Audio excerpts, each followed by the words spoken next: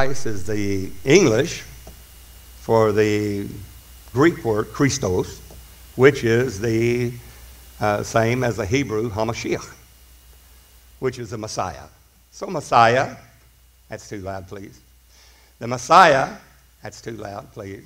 Messiah, Messiah, thank you, is, is the same as Christ. The Old Testament Messiah, the first proto-evangel of Messiah, was in Genesis 3.15. Immediately after the fall, by one man's disobedience, sin came to the world and death by sin.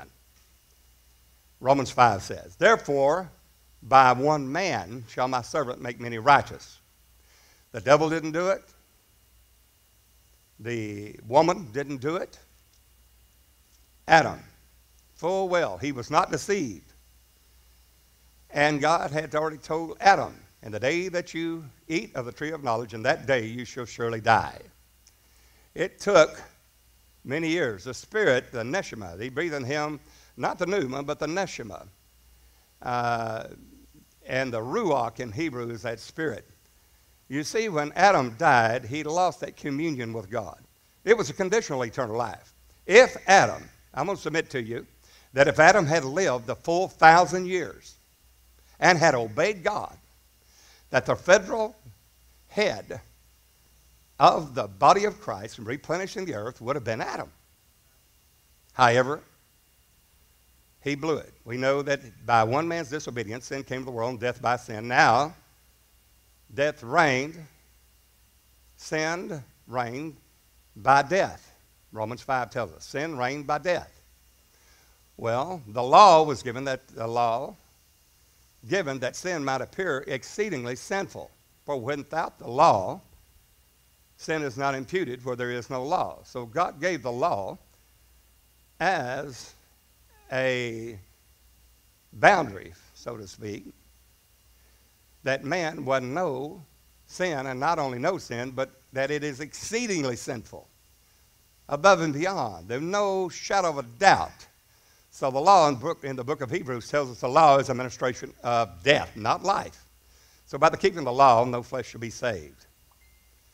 Therefore, the law was given that all mankind would be guilty before God and condemned by the law and turn to a Savior.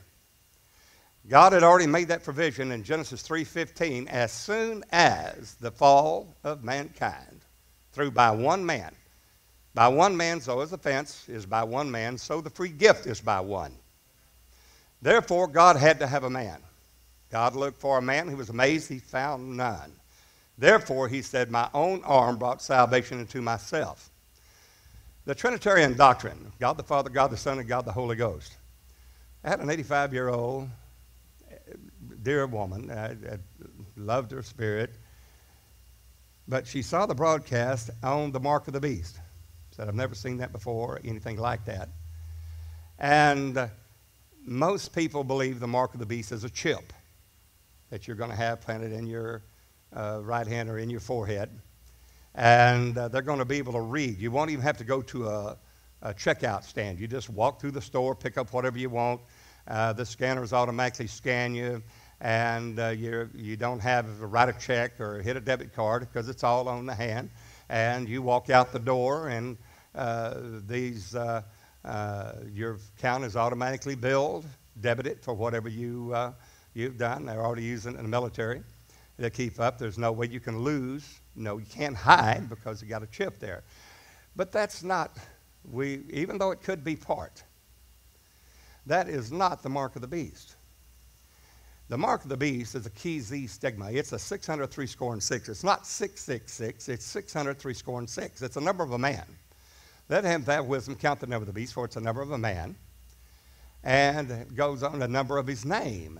And many people have gone through Caesar Neron, et cetera, et cetera. Kissinger back in those days. They had all kinds of theories about who the beast was.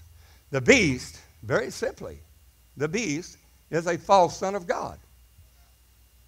And they worship the beast. Did they think that, you know, I'm actually worshiping a devil? No.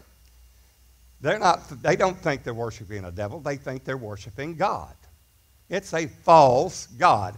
We think Antichrist is, you know, a pitchfork and uh, red long, scaly tail uh, coming out there. Well, it's not. It is a in lieu of Christ. So, so great a deception. It's not just delusion, it's strong delusion. That God Himself sent strong delusion, they believe a lie and be damned, because they receive not the love of the truth that might be saved, but have pleasure in unrighteousness. Now the question is, what is righteousness? If you know what righteousness is, then you'll know what unrighteousness is. Righteousness is He came from the Father and He went back to the Father. Proceeded from Him, I go back to Him. You see, no man has seen God at any time except Jesus Christ, who is that God of glory. You see, if I say I know him not, I'll be a liar like unto you, Jesus said. Know there in the Greek is Ido, E I D O. It means that I have seen the Father, not only see him, but know him in perfected uh, glory, character, essence, and being, as only he, as only a person knows themselves in the soul realm. So there's no such thing as God the Father, God the Son. Where does it say God the Son? It says the Son of God. Why does it say the Son of God? In the beginning was the Word, the Word was with God, the Word was God, the same was in the beginning with God, all things were made by Him, not them, Him. Well, in the beginning, God created the heaven and the earth. Not heavens, heaven and the earth. And the earth was without form and void. and Darkness was on the face of the deep. And the, and the Spirit of God, the Spirit of God, the Hebrew word there's fluttered over the face of the waters. The waters there. Between Genesis 1 and 1 and Genesis 1 and 2, there's literally hundreds of thousands of years. It's only been 6,000 years since God created man in his own image, after his own likeness, Genesis 1.27. But we have cunningly devised fables. If you're the devil and you know you're going to burn, what are you going to strike at at the church? The very foundation. You're going to strike at the very foundation. Because no matter how much you learn in eschatology and uh, the, the seals, trumpets, and vials and the world events and uh, the things that are coming upon the earth to try the earth, no matter how much of those we know, if we're on the wrong foundation, the house is going to fall. Is the house built? Of course it's built. They go to church. We all go to church to hear the Word of God. Faith can by hearing, hearing by the Word of God. The only difference is somebody built the house. Some built the house upon the sand. The sand shifts, tossed to and fro by every wind of doctrine. It's not the rock. That rock is Christ. That rock that followed them out of Egypt. And they said, Did you see that rock? It's following us over there? And they said, Yeah, I've noticed that. Well, that rock was Christ. That rock, when Jesus, and here we go on about the Son of Man today. Everybody believes the Son of Man is humanity. That is the furthest thing from the truth that you can ever think of. The Son of Man. You might want to turn me down. The preacher's going to be here today. The Son of Man is not human man. If that's the case, it's divine flesh. There's revelation there. You can't just take, well, Son of Man, man there. That's the, and why, whenever it first mentioned the Son of Man in Daniel 7.13, it didn't say Ben Adam, son of Adam. It's Bar Enash. He used a Chaldean word for Bar, son, Enash. Why? Because they said, well, it's a mystery. Yes, it's a mystery. Great. Without controversy, great is the mystery of godliness. God was manifest in the flesh. But everybody said, well, no, the Son of God was manifest in the flesh, Brother Beard. No. The Son of God uh, is not everlasting. Jesus said, the things concerning me have an end. Amen. Hallelujah. The Son of God was manifest in the day that he was born in the city of David, Christ the Lord, uh, and they called his name Jesus. And after the eighth, uh, the eighth day, they took him over to be circumcised and called his name Jesus. Why? Because the eighth day is all the days that you circumcise a child. We're told in the church world, baptism doesn't have anything to do with salvation. What Bible are you reading? You just have faith. Faith without works is dead. Can't faith alone save you? You see a man that's naked and hungry, and you see, Be thou clothed and fed.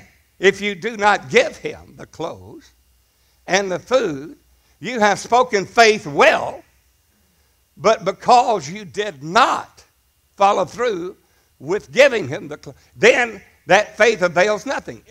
James said is dead faith. Faith without works is dead. We have gotten so far off the mark, and you think, well, if that's the case, God will shake us one more time. Well, that's exactly what He's going to do. There's a shaking on, going on among the nations, and not the least grain will fall to the ground. But I'll destroy all the sinners of my people by the sword, which say that no evil shall prevent nor overtake us. That evil is not sin. That evil there is a, is a Hebrew word, ra, means tribulation, persecution. The captain of our salvation was made perfect through sufferings. 1 Peter 4.1 says, For as much then as Christ has suffered for us in the flesh, be ye therefore likewise minded. For he that has suffered in the flesh has ceased from sin. Well, we don't have a cross gospel now. We have a crossless Christianity. People go through tribulation, which work with patience, patience work with experience, experience work with hope. Hope maketh not ashamed because the love of God shed abroad in the heart by the Holy Ghost. And they're telling you something wrong with you because if you're living for God, God's going to give you the house on the hilltop, cars and lands and lots of money. If you'll just send in $1,000, got to give you 10000 Hallelujah. Brother Brad's still in a wheelchair. They're going to do an operation. He fell out of a tree 30 foot high, moving uh, trailers in on the land that was donated to us out there. Completely smashed the talus bone. I need everybody praying. We're going to believe God for a creative miracle. They has no bone to build on in that left ankle. It's totally gone. That's where the bone sits on the top of the foot, and that's where you pivot. And that's where you move the foot up and down and move this way. Well, it's gone. They took it completely out. His foot over here was actually three inches over to where his leg was.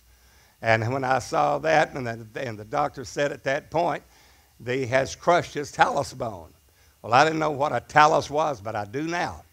A talus bone is that little bone that's about uh, on the top of your carpals there that moves, and it's and they took the whole talus bone out, said it was pulverized. Now we're going to believe God, signs, miracles, doubts, wonders, and gifts of the Holy Ghost. He heals the sick, cleanses the leper, raises the dead, cast out devils, open blind eyes, loose the dumb tongue. The lame walk and the captive went free. God's still the same today, yesterday, and forever. Now, we have told you before in, in, uh, uh, in, in 19, what was it, what, what year was it Brad was uh, electrocuted? And we took him to Baylor there after he had been dead four hours. What, what year? 89? 2009. 2009, yeah. What, September? September 2009. Sister Melanie, come up here. I want, we're going to go into this revival, and we're going to believe. I've seen, I've seen deaf mute speaking here. Not because of me, we can't heal, we can't heal a net of a headache. But I want to tell you something. When we get in a prayer line over there and you don't believe God heals everybody, Somebody said, God don't heal everybody. Then you're not going to be with me in that prayer line. Amen. Jesus healed all manner of sickness and disease. Amen. Cast out devils, open blind eyes, loose the dumb tongue. Blessed he whosoever is not offended in me. There was not one person that ever came to Jesus that was not healed. Amen. Well, then somebody said, well, he didn't do there many minor miracles. Yeah, because of their unbelief. Hallelujah unto God. So if we don't believe him, we don't believe he's nothing, well, he's not going to move anything. Somebody said, got in a prayer line, what do you want? I don't want nothing. Well, you're going to get nothing. Hallelujah unto God. According to your faith, be it done unto you. Hallelujah unto God. Well, we're going to believe God that everybody that walks in under that tent is going to feel the power of the Holy Ghost. Somebody said, well, it's the Holy Spirit. The Holy Spirit's always been the Holy Spirit. The Holy Spirit's always been God. Always will be God. But when that Spirit dwelled in a person, in a body of flesh and blood. From then on, it was called the Holy Ghost. Ghost denotes blood. People hate ghost. They like Holy Spirit. They like that Holy Spirit. They like that sensual, devilish. Oh, and they and they like it whispered as they as the familiar spirits peep out of the dust. We're going to shout it from the housetops. We're going to believe God to save that which should be saved. Add daily to the church that you should be saved. We're going to believe God to everyone that comes there seeking God is going to going to receive as they have purpose in their heart. And they come there believing. And I know God will confirm His word with signs, miracles, doubts, wonders, and gifts of the Holy Ghost according to His own will. He will always confirm His word with signs following. Well, somebody said, well, there's three unclean spirits like frogs. These are spirits of devils working miracles. Yeah, but there's a big difference between a devil working a miracle and a miracle of God. There's a big difference there, honey. Because I've seen them throw away crutches. I've seen blind eyes open the next, the next day be looking for their glasses, trying to find you. Well, if the tumor was gone. I saw a man one night under a gospel tent. This is some 30 years ago. Actually, over that, 35 years ago that was healed of a tumor. Real big tumor sitting on his chest. And he said, Is that hurt? And he was a preacher friend of mine. And he, boom, and he hit that tumor and he said, Now is that gone? He said, Brother Beard, that thing was gone. The next day he got up, things swollen, was worse than it ever was, and he couldn't move. Now, what's wrong with that? Did, we not, did, did not receive the healing? Did his face turn back? No, me tell you why. Because the devil will play possum, do whatever he can to deceive. He'll do whatever he can to sit there, lie, cheat, and steal. He came to steal, kill, and destroy. He has a false, uh, he's an anti in lieu of Christ. It's so close. He has two horns like a lamb. Looks like a lamb, two horns like a lamb. Spake as a dragon. If you don't know the Word of God, I guarantee you, you're going to be deceived in the last days. God sent them strong delusion, believe a lie, and be damned. What comes out concerning a day of Christ are gathered together in Him? Is that day of Christ at hand? Be not soon, shaking in mind or letter ask from us. Is that the day of Christ that Is at hand? That's our gathering together in Him. For that day will not come till it come a falling away first. Somebody said that's a rapture, falling away from the earth. No, it's not. The Spirit speaks expressly, 1 Timothy 4.1, the latter day some shall depart from the faith, giving heed to seducing spirits and doctrines of devils, uh, forbidding to abstain from meats, forbidding to marry and abstain from meats which God has sanctified by the word of God and prayer, having a conscience seared. The conscience seared with a hot iron. That conscience is in the spirit of man, and there's only one way with the heart man believe it. Somebody said, Well, I asked Jesus to come into my heart. I said it with an open confession. No, that's not confessing. That's not believing in your heart. It's believing in your head. Amen. Romans 2.28. I'm going to say it again. And sooner or later, the people that are not literally dug into Trinitarian are going to come out. Come ye out of her, my people. When somebody said, You got all the truth. Nope, but I'm striving for it. I'm pressing toward the mark for the prize of high calling God in Christ Jesus. As many as be perfect, be thus bound, and if you be any otherwise minded, God will reveal this even unto you. There's only one way to believe with the heart. Somebody said repentance is all there is to it. No, godly sorrow worketh repentance unto salvation, not to be repented of. There's seven feasts of the Lord. Christ, our Passover sacrifice for us. Then there's the unleavened bread, his burial. That's where Jesus was three days dead in the tomb of Joseph of Arimathea. And uh, while he was there, he said, Tell no man the vision until after the Son of Man is resurrected from the dead. Why? Because Romans 1 3 said, He is not. Declared to be the, he is declared to be the Son of God, declared to be, proclamated, preached to be the Son of God through the Spirit by the resurrection from the dead. How do you know that uh, Buddha, Krishna, uh, Allah, uh, Muhammad is not, not, not a true messenger of God? Because God didn't raise him from the dead. Jesus said, Destroy this temple in three days, I'll raise it up. I'm God. I'm the one that did it. This I have power to, I freely lay down my life. No man take it from me. I have power to lay it down. I have power to take it again. This I've received of my Father. Who's the Father? Jesus, in his humiliation, was a man. Just like you and just like me. Hebrews 2 said, For as much as the children to protect of flesh and blood, he also himself likewise took part of the same that in all things he was made like unto his brother. Not they, not the second person of the Godhead, he, God himself. Take heed to yourselves over all the flock of which the Holy Ghost has made you overseers to feed the church of God, which he hath purchased with his own blood. That is not just regular old carnal blood, son. That's the blood of the Holy Ghost. That's the blood of God Himself. God so loved the world, He gave His only begotten Son, whosoever believeth Him shall not perish but have everlasting life. 1 John 3.16. Hereby perceive the love of God because He laid down His life for us. Therefore, we have to lay down our lives for the brethren. We have gotten so far off the mark that God is going to do a work in judgment. Why? Because when judgment's in the earth, men will learn righteousness. What is righteousness? I came from God. I go back to God. I proceeded from the Father. I go back to Him. What is righteousness? When the Holy Ghost comes into the world, He will reprove the world of sin, of righteousness, and of judgment. Of sin, because they believe not on me, Jesus said, of righteousness, because I go to the Father, not around Him, not on His right hand. That's for us. We'll get into that today and uh, but in the throne of God to the Father.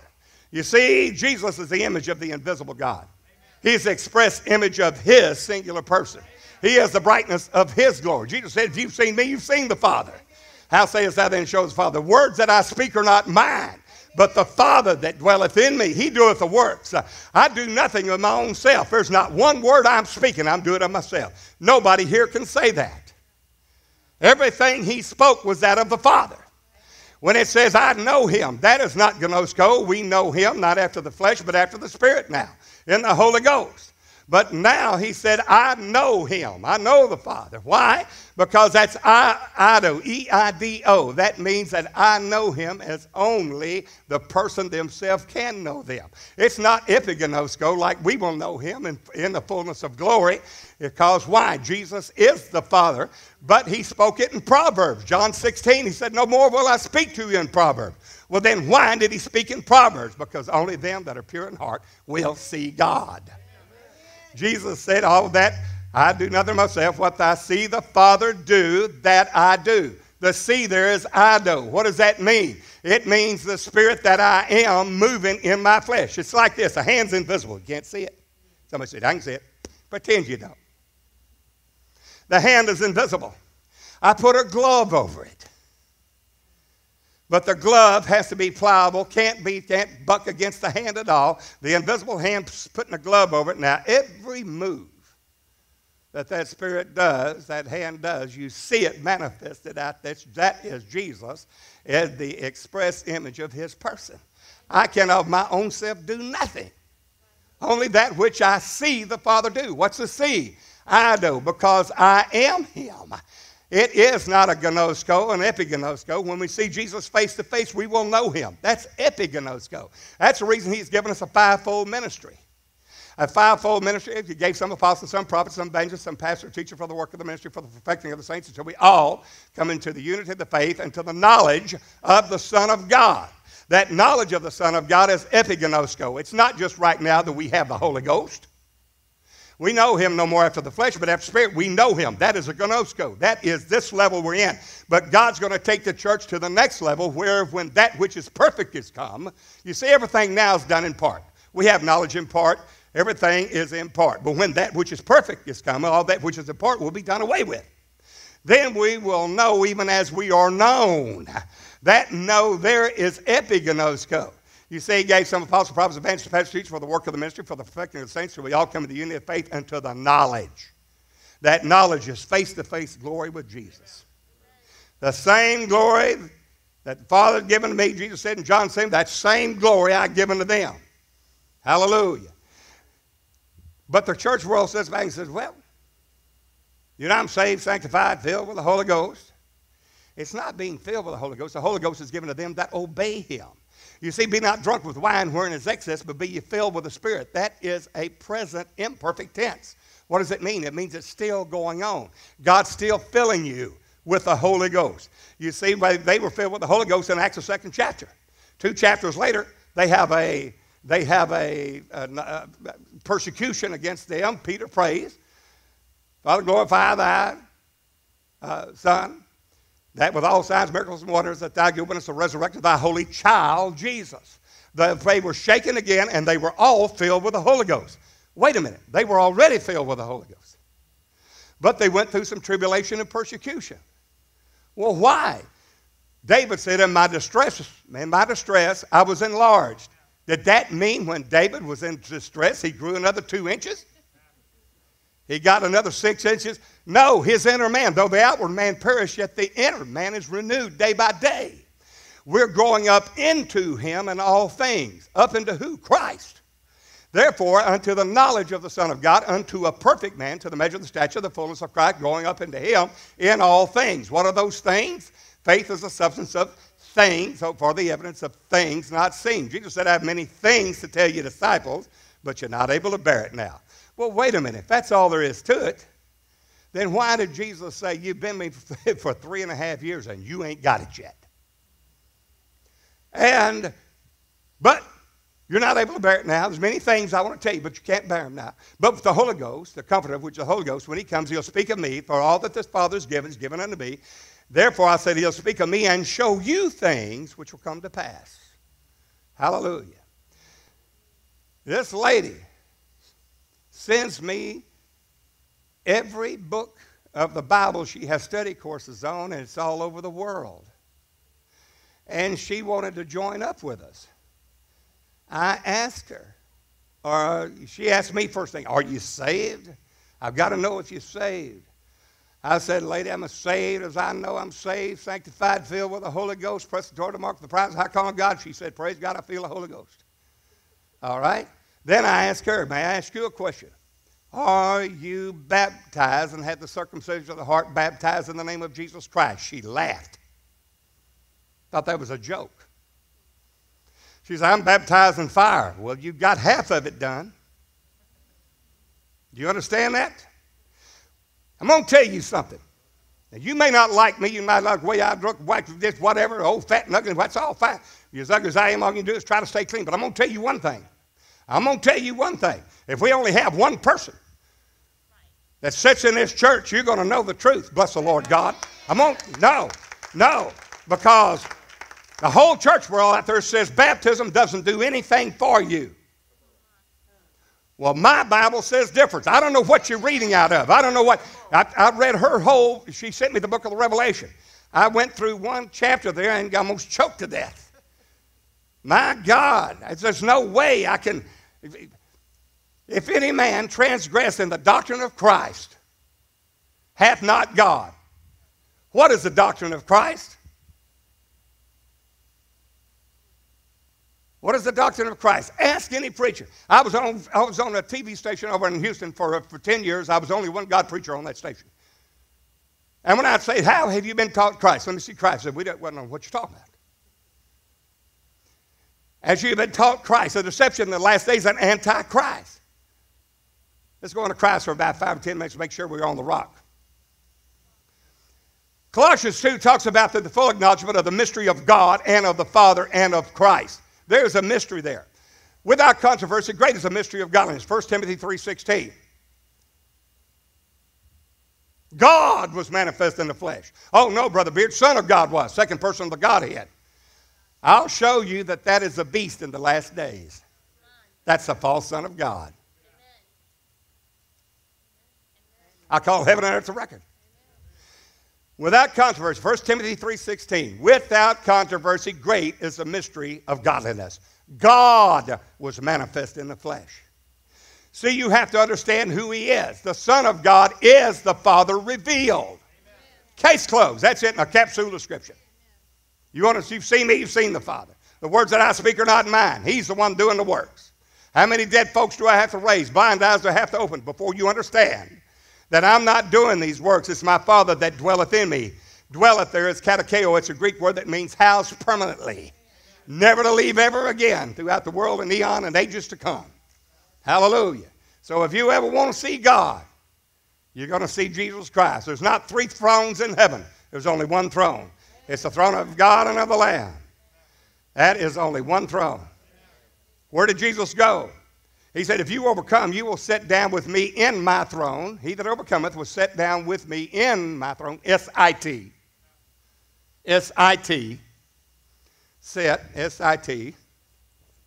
down with me in my throne, even as I overcame and am set. S E T. That's not S I T.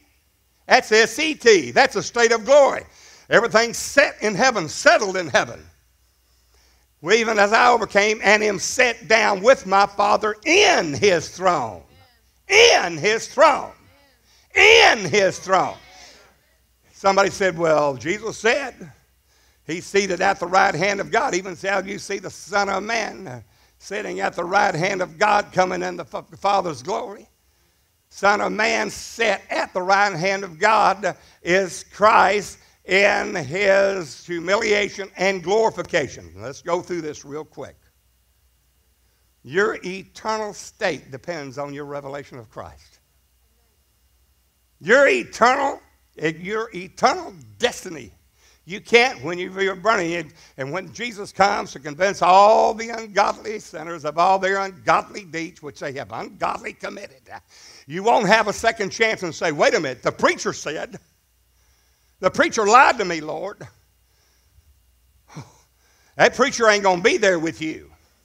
You're going to give an account for everything that you've done. You're going to be judged out of the books. That's a book of life and the Biblion, which is the Word of God. Hallelujah. And no one's going to stand there with you, and you're going to give an account for all the things that you have done. I'm going to do it. You're going to do it, for we all, Paul said, must appear at the judgment seat of Christ. We try to get away from that. Say, well, that's a Bema seat. Well, that's, oh, no, no, no. Judgment seat of Christ is judgment seat. Let's talk about Christ for a minute. Jesus said, Who do men say that I, the Son of Man, am? Matthew 16. The Son of Man, they say, well, that's Jesus in his humanity. Oh, really? What, who was Jesus' earthly father then? I didn't know he had one. Well, that's Jesus on his humanity side. No, it's not. That's the reason he did, did not say Ben Adam. Ben is a Hebrew word for son.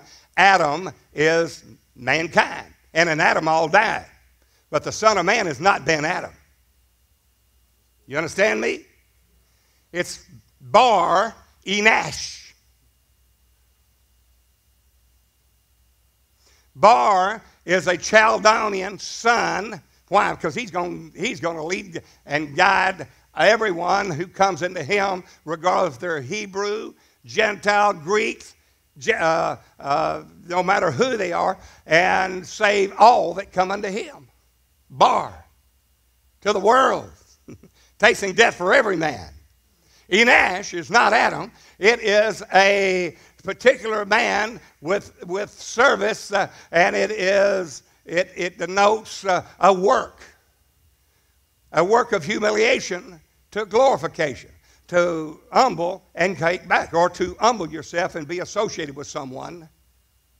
Enash, a humiliation to humble yourself. I'm going to submit to you that God Himself humbled Himself. Amen. Not the Son of God, not the second person up there. God Himself humbled Himself. Somebody said, You don't have scripture for that? Yes, I do. Hallelujah to God. We'll take any person, tell anybody want to. We'll sit down and talk with anybody up there, discuss the Word of God with them anytime, any place.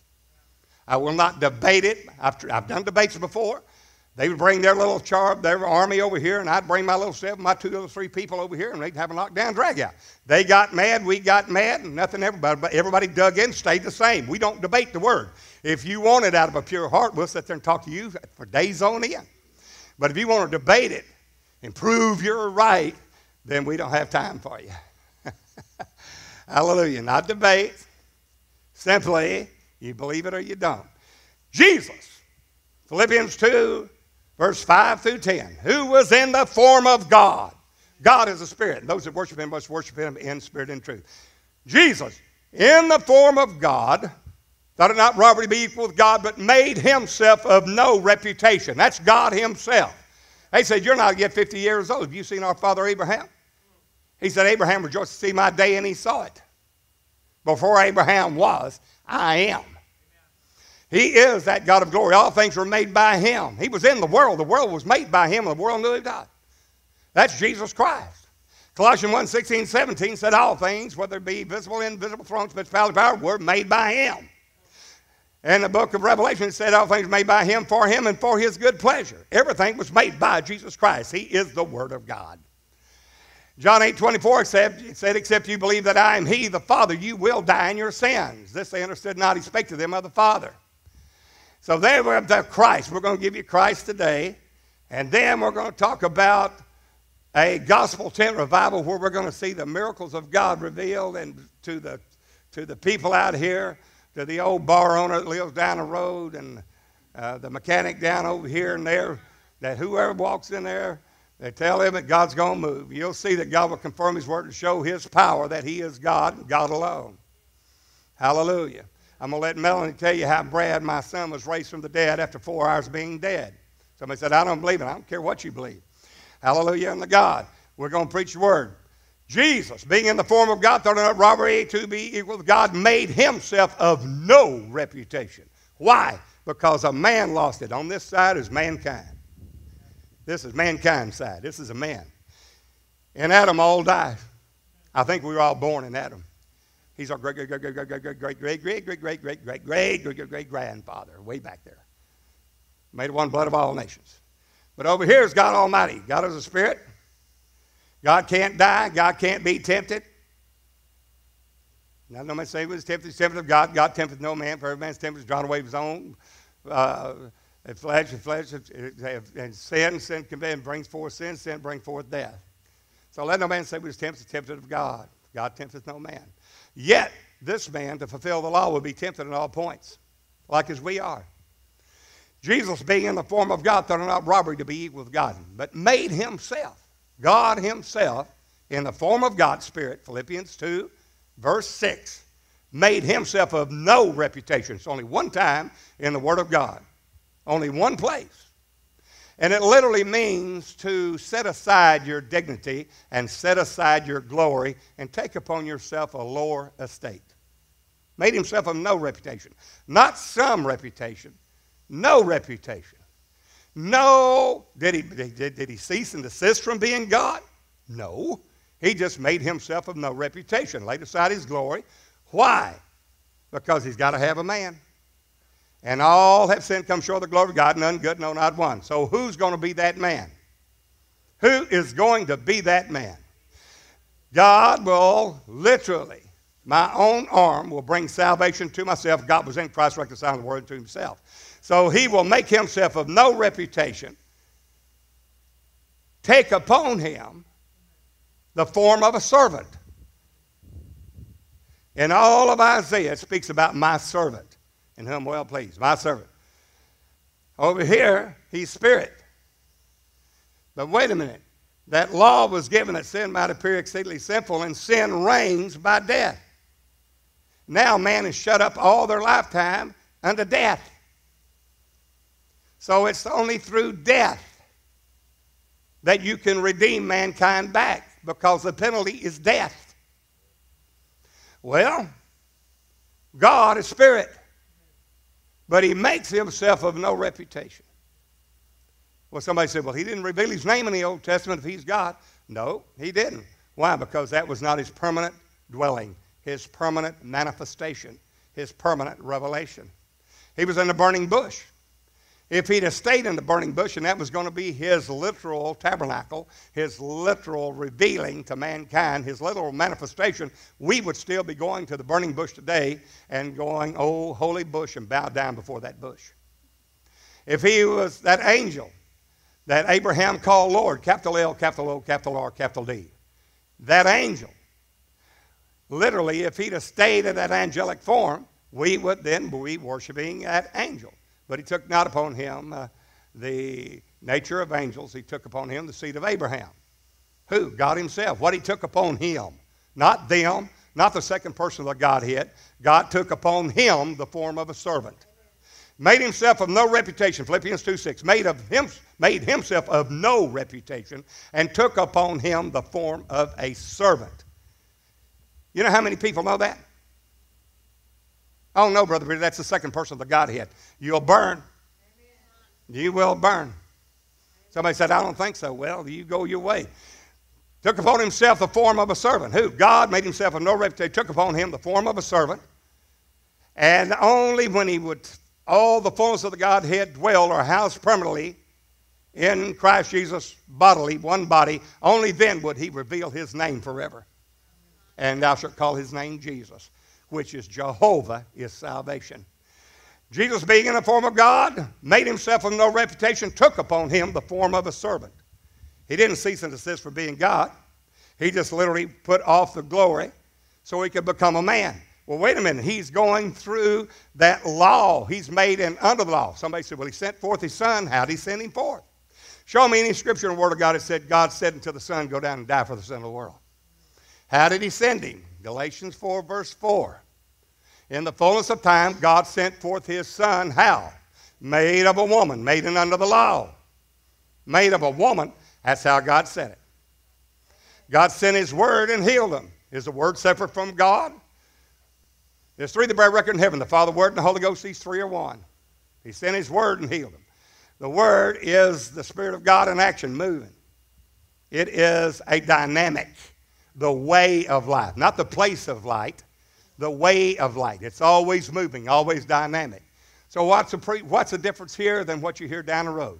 Very simply, that God Himself, whose name is Jesus, being in the form of Spirit, took upon Himself the form of a servant, made in the likeness of men.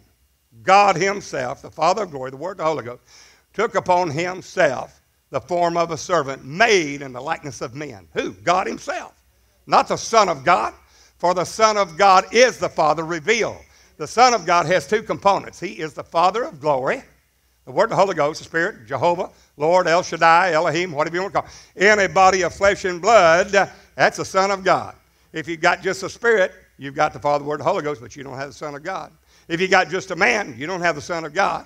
If you've got the Son of God, you've got the Father manifest in a body of flesh and blood in the days of his flesh, who went back to his former glory, set down in the Father's throne. Revelation 3:21. When you have that revelation, you have a revelation of Christ. There is no other revelation. There is no other salvation. Except in the name. There's no other name given among men under heaven whereby we must be saved but the name of Jesus. Acts 4.12. That Jesus Christ, the Lord, is that Spirit. You ask somebody, who's the Lord? They said, the Lord Jesus Christ. 2 Corinthians 3.17, the Lord is that Spirit. And where the Spirit of the Lord is liberty. We all with open face behold the glass of the glory of the Lord changes to the same image.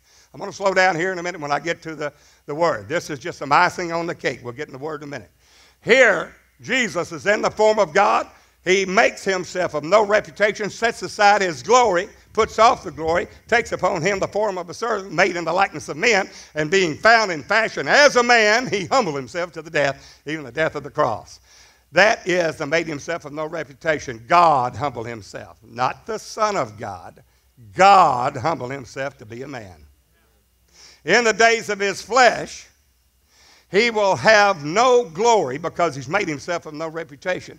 When he's born, even though he's the Spirit of God, it's made of no reputation. He's work, eh, working as a man alone because a man lost it by one man's disobedience. Sin came to the world and death by sin. Therefore, by one man shall my servant make many righteous. Even as offense is by one, so also is a free gift by one. That is the man, Christ Jesus.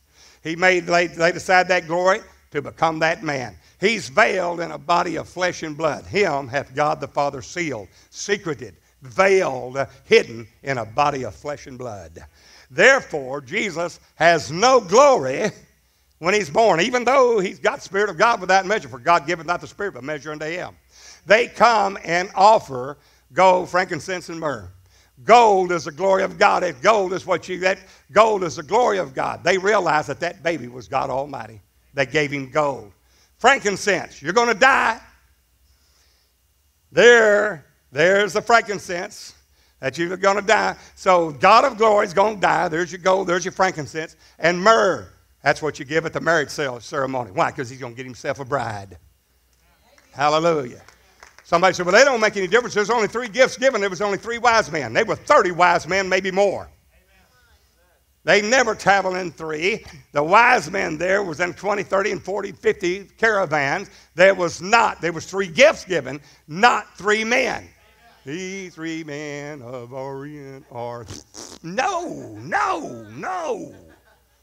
Shepherds in the field. There's more lives. Jesus had long hair, pretty little face, light shining down from heaven. He's sitting there praying, light on him. He looks almost like a girl. And ain't the God I serve. The Bible said, well, somebody said, well, he had a Nazarite vow. No, he did not. He was born in Nazareth. He didn't have a Nazarite vow. He came eating and drinking. They say, behold, uh, uh, a glutton and a wine bibber. He didn't abstain from wine, he drank wine. They said a gluttonous, gluttonous and a wine bibber. He pulled his hair. That's the reason when the Roman army came down there to get him, they, they, couldn't, they couldn't find him among because he had his hair pulled. He didn't have long hair. You got this long hair, Jesus, you know. Well, Michelangelo, that little queer wrote him up. That's a fact. Somebody said, You're going to get sued. Sue me. I don't care. Hallelujah. I'm 66 years old. I, listen, we have to lift up Jesus, give him the glory due to his name. While he is in this body of flesh, he is, he is under the law. Galatians 4, verse 4. In the fullness of time, God sent forth his son, how? Made of a woman, made in under the law. Under the law. Why? Because that man will have no glory. He will literally have to fast, pray. Daily, the Word of God will be his delight to show us the way, truth, and life to get back to him. God working salvation in and of himself alone, Ephesians 1. Well, Jesus there will have no glory. He didn't walk in, be born, and he said, Oh, you're the Son of God. And he says, Watch this. Boom! There's electricity, fire flying out of his hands. 50 men running before his chariot going, Whoa, the Son of God is here. No, he took on him the meanest of flesh. He literally, one of the poorest families, there he literally he grew in favor with God and man, showing us the way from the uttermost, the guttermost to the uttermost. He literally fasted, prayed. He grew in favor with God and man as a man. Why? Because he's made himself of no reputation. He's emptied out of glory. All his glory's gone to become that man. You realize that? How much did he love you? I'm going to tell you something else. I'll make, I'm, I'm, I'm going to really make you mad. What, if, what, what kind of a man would you say? Uh, I tell you what, I know sin down in the world, so you, my son, you go down and die for the sin of the world. If I was a son, I'd say, why don't you go down and die? What kind of a God would tell his son to go down and die? That was God himself, son. The Son of God is the Father manifest. It is the Father manifest. It's God that died for you. It's the Lord that God Almighty that died for you. How much did He love you? My God, He saw you in His deaths, plural. He tasted death for every man. So this is true light that lighteth every man that cometh into the world. Jesus will have no glory, even though he's God manifest in flesh. He's the Word made flesh. He is the Holy Ghost in flesh and blood. He will have no glory. He will have to fast, pray, daily read the Word of God, showing us the way, the truth, and life as our example what we have to do. And uh, then, about the age of 12, perfect government of God, he goes there, they said, they were amazed at his knowledge. What know you not? I must be about my father's business. Somebody said, Well, that's a little brat tell his mama. He never called her mother. Woman. Why? Because he wasn't the son of any man. Well, the son of man is not flesh. John 3:13, no man hath ascended up to heaven, but he that came down from heaven, even the Son of Man which is in heaven, and Jesus was standing there in shoe leather. Why? The Son of Man is that second man, that second Adam, the last Adam. The first Adam was of the earth, earthy. The second Adam is the Lord from heaven. Amen. Not the Lord Junior, not the Lord, not the Lord uh, second person, his son somewhere. The Lord himself. Well, Jesus then, he is fasting, praying, daily the word of God is his delight.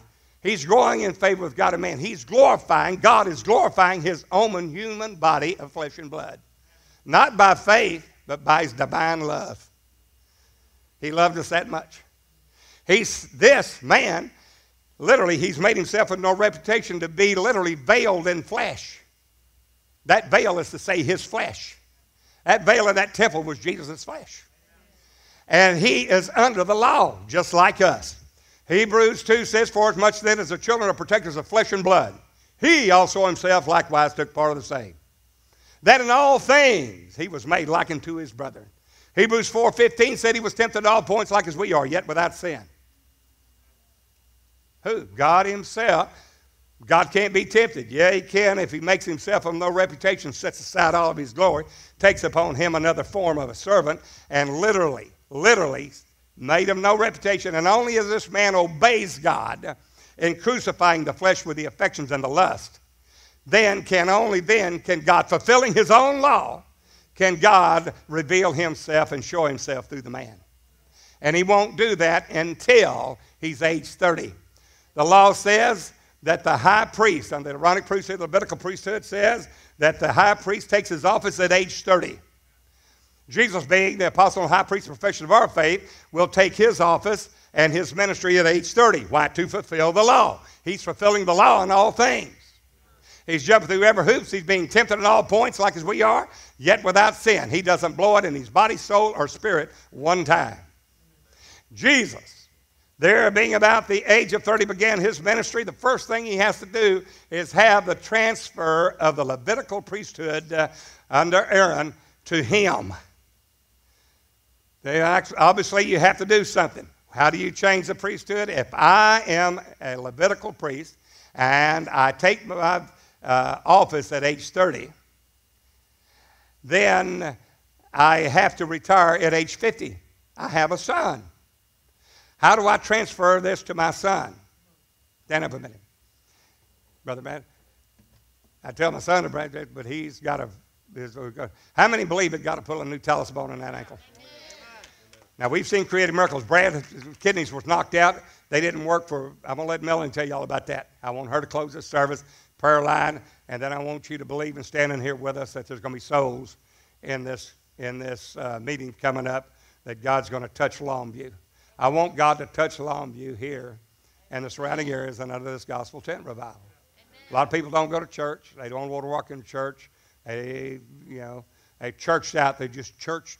Don't want no more church. I'm church poor. I don't want no more church. I can understand that. So we'll take the church to them.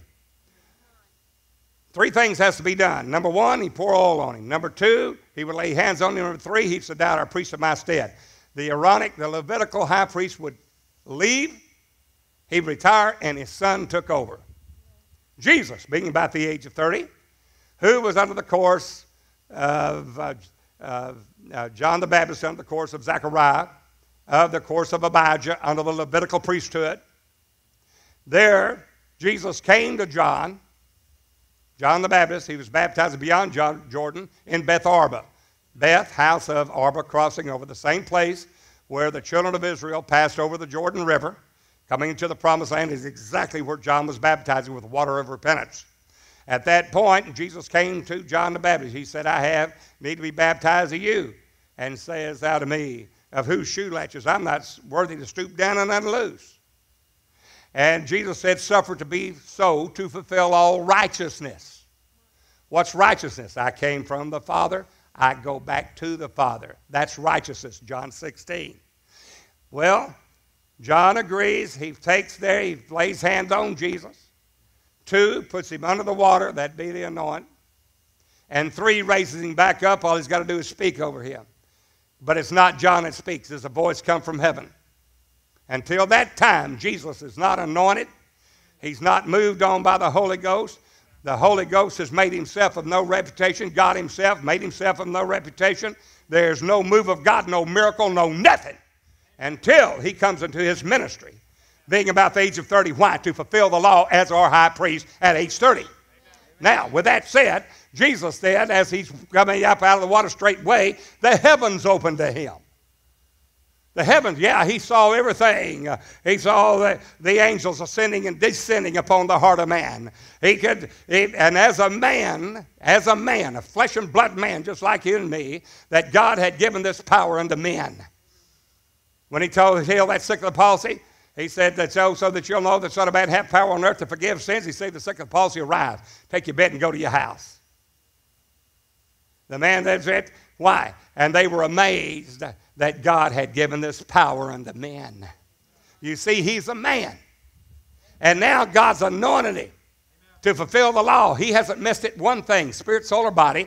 Now he takes on the not a Levitical priesthood. He takes on him a priesthood after the order of Melchizedek. And that's the reason you'll hear God say later on, This is my beloved Son in whom I'm well pleased. Hear ye him. Don't hear that law. He's fulfilling the law. Hear ye him. The prophets say, Thus saith the Lord God. Jesus said, But I say unto you, I'm God. I'm telling you the spiritual essence of that law. He didn't do away with the law, he fulfilled it and brought it to a higher level, the spiritual level, the law of the Spirit of life in Christ Jesus, the law of liberty. When that happened, the heavens were opened to Jesus, and what happened? There was a, in the likeness of a dove, descended from heaven. The Holy Ghost descended from heaven as a dove and rested upon Jesus how God anointed Christ Jesus of Nazareth, went about doing good, healing all manner of sickness and disease. It was only then, fulfilling the high priest under the law, that Jesus, as the Son of God, which is the Father manifest, could go out and do any works because now God had anointed him, fulfilling the law, and he has every right to do it. He has every right to do it because he's fulfilled his law at age 30, exactly what the law said. The Lord God did it. Amen. Hallelujah. Thank you, Brother Brandon. Now, Jesus goes out for three and a half years. All of his miracles that he does, he starts out with healing Peter's uh, mother of a headache, of a fever. He heals her. Well, then what happens? That, that it progresses. The, the miracles progress. Everything he does, he's progressively glorifying his human.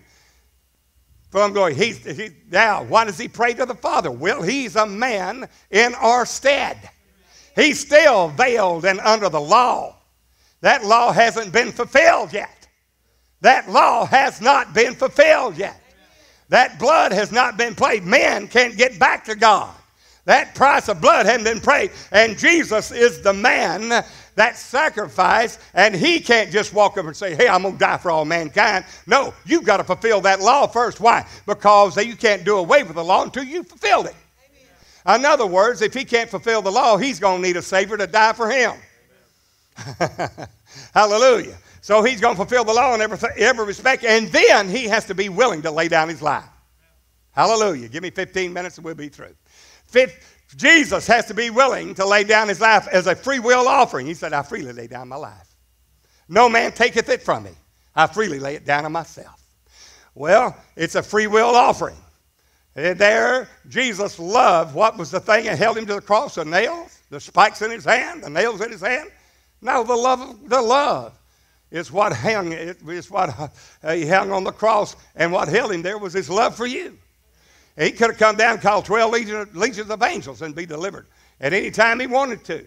Twelve legions of angels, six thousand in a legion. That's seventy-two thousand angels. It Only takes one to literally destroy a whole army. And then in the morning, they were all dead men. The Midianites destroyed. Well, they could call 72,000 angels, 12 legions of angels to be delivered. But he didn't do it. Well, Jesus now, he said, My Father's greater than I. The things concerning me have an end. He's praying to the Father. Why? Because he's in our stead as a man. He's in under that law. That veil is still there. That law is still over, over Jesus until until death will have no more dominion over him after he dies and sheds his own blood. He will say, Father, glorify thou me. The Father will say, I have glorified you and I will glorify you again. God's working salvation in and of himself alone. God was in Christ, reconciling the world unto, unto himself. Somebody said, well, Christ is the man that suffered. Christ, first and foremost, is the Spirit of God. 1 Peter 1, verse 10 11. The Old Testament prophets searching what or what manner of time? The Spirit of Christ. The Spirit of Christ that was in them. Can I get a witness in this house or everybody asleep?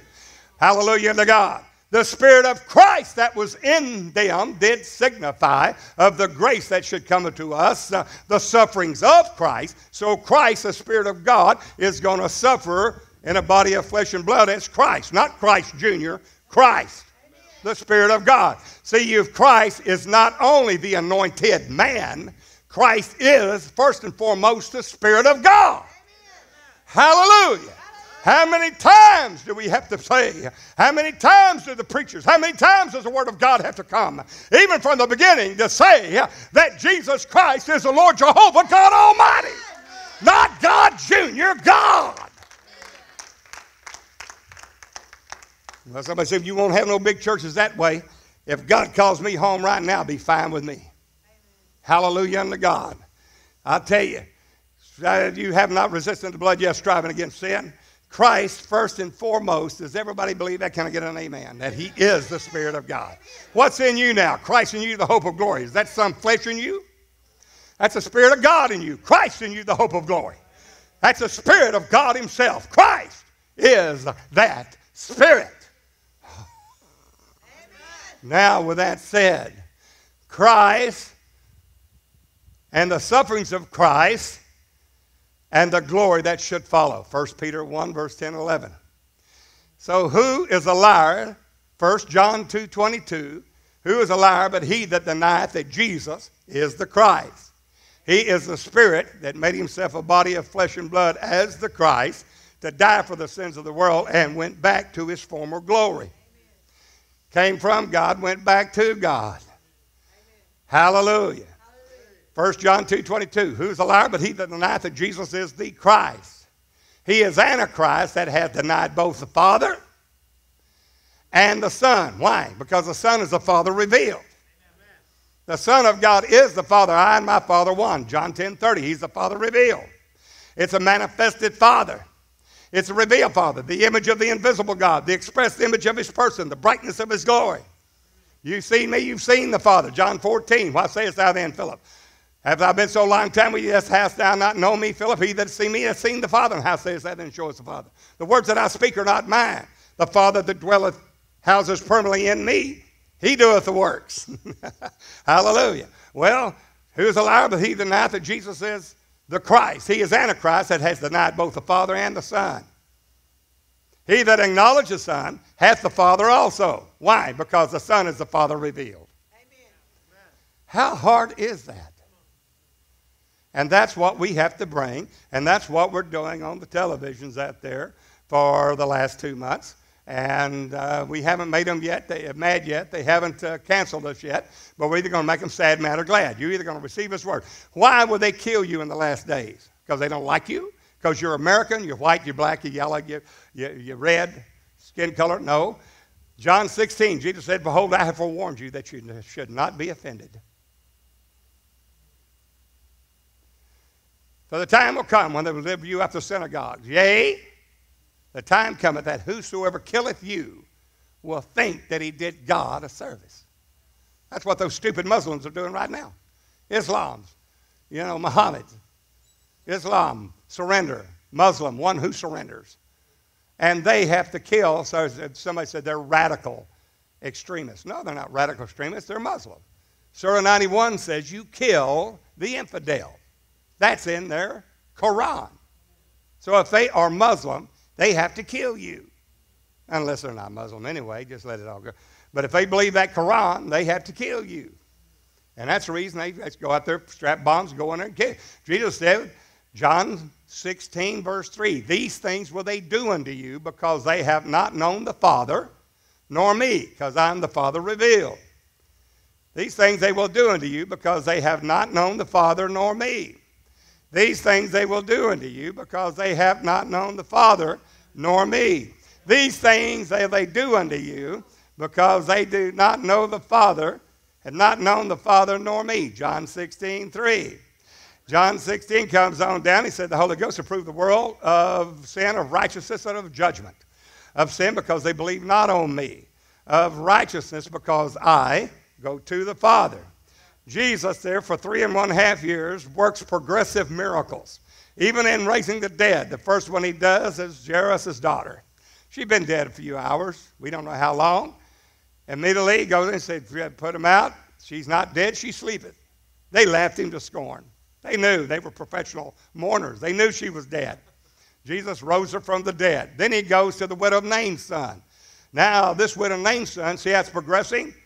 Been dead a couple of days because they're burying him now. He's in that coffin, that bier going down the road. Jesus stops, has compassion on the, the widow, and said, Son, I say unto thee, arise. Presented him alive to his mother. Then we go to Lazarus. Now, four days dead. By this time he stinketh.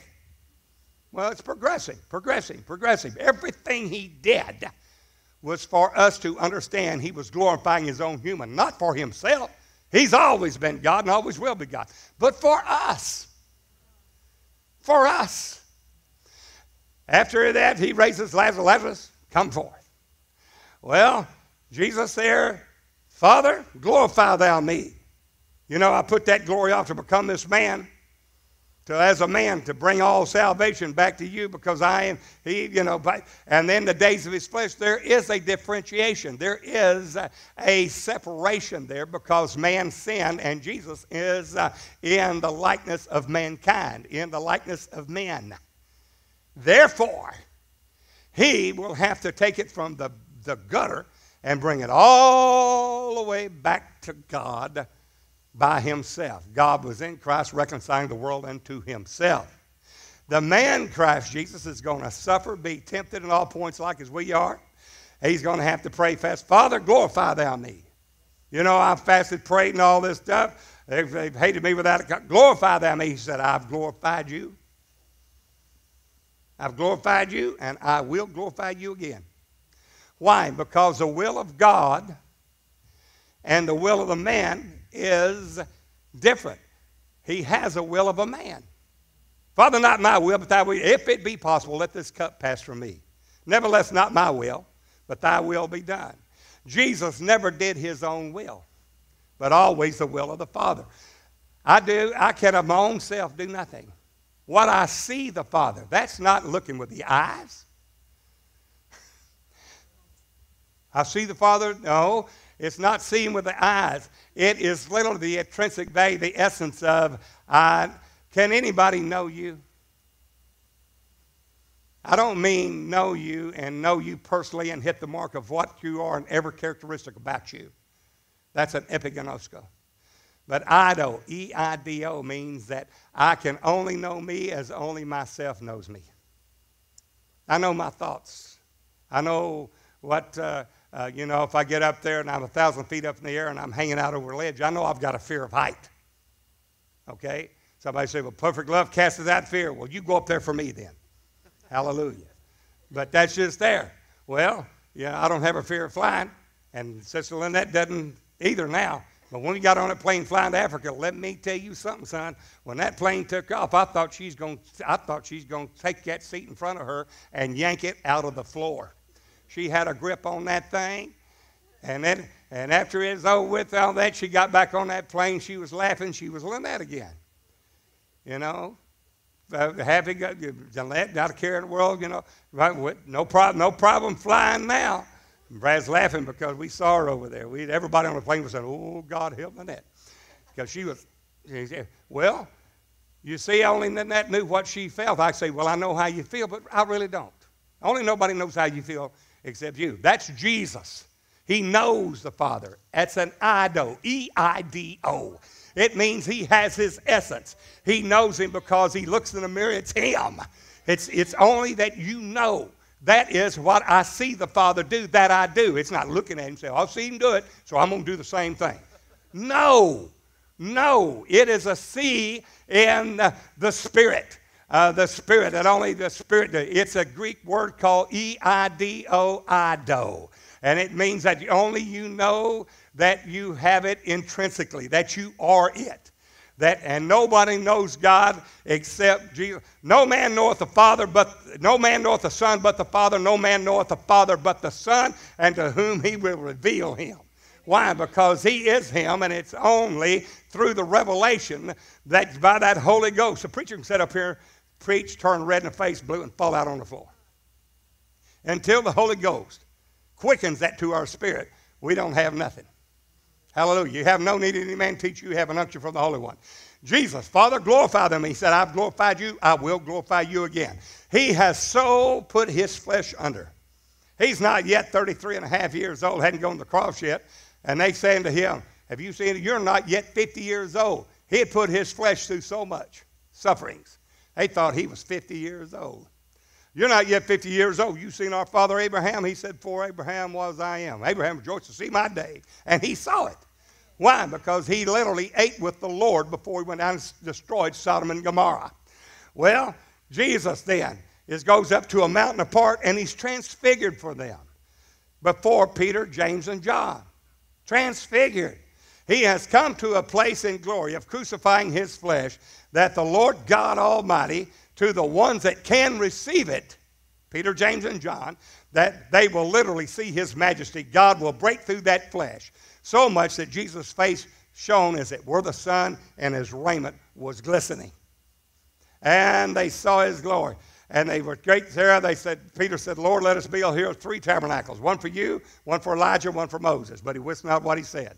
The tabernacles is the tabernacles of God in the last day where the church of the living God will be transfigured to the point, to the measure of the stature of the fullness of Christ, and to a perfect man. And you will bring this gospel, the everlasting gospel of Jesus Christ, into all the world, be preached in all the world for a witness unto all nations, and then the end will come. The difference is going to be so great a difference. Now listen to me. So great a difference than Pentecost. The Pentecostal reign we've been in for over 2,000 years since we've received the Holy Ghost, which is Christ, which is Jesus in you. But now there's going to be such a radical change that only those, only those that, that keep the commandments of God and have the testimony of Jesus will enter into this last day glory. That's Revelation 12. A woman clothed with the sun and moon under her feet, upon her head a crown of 12 stars. She cried, travailing in birth and pain to be delivered.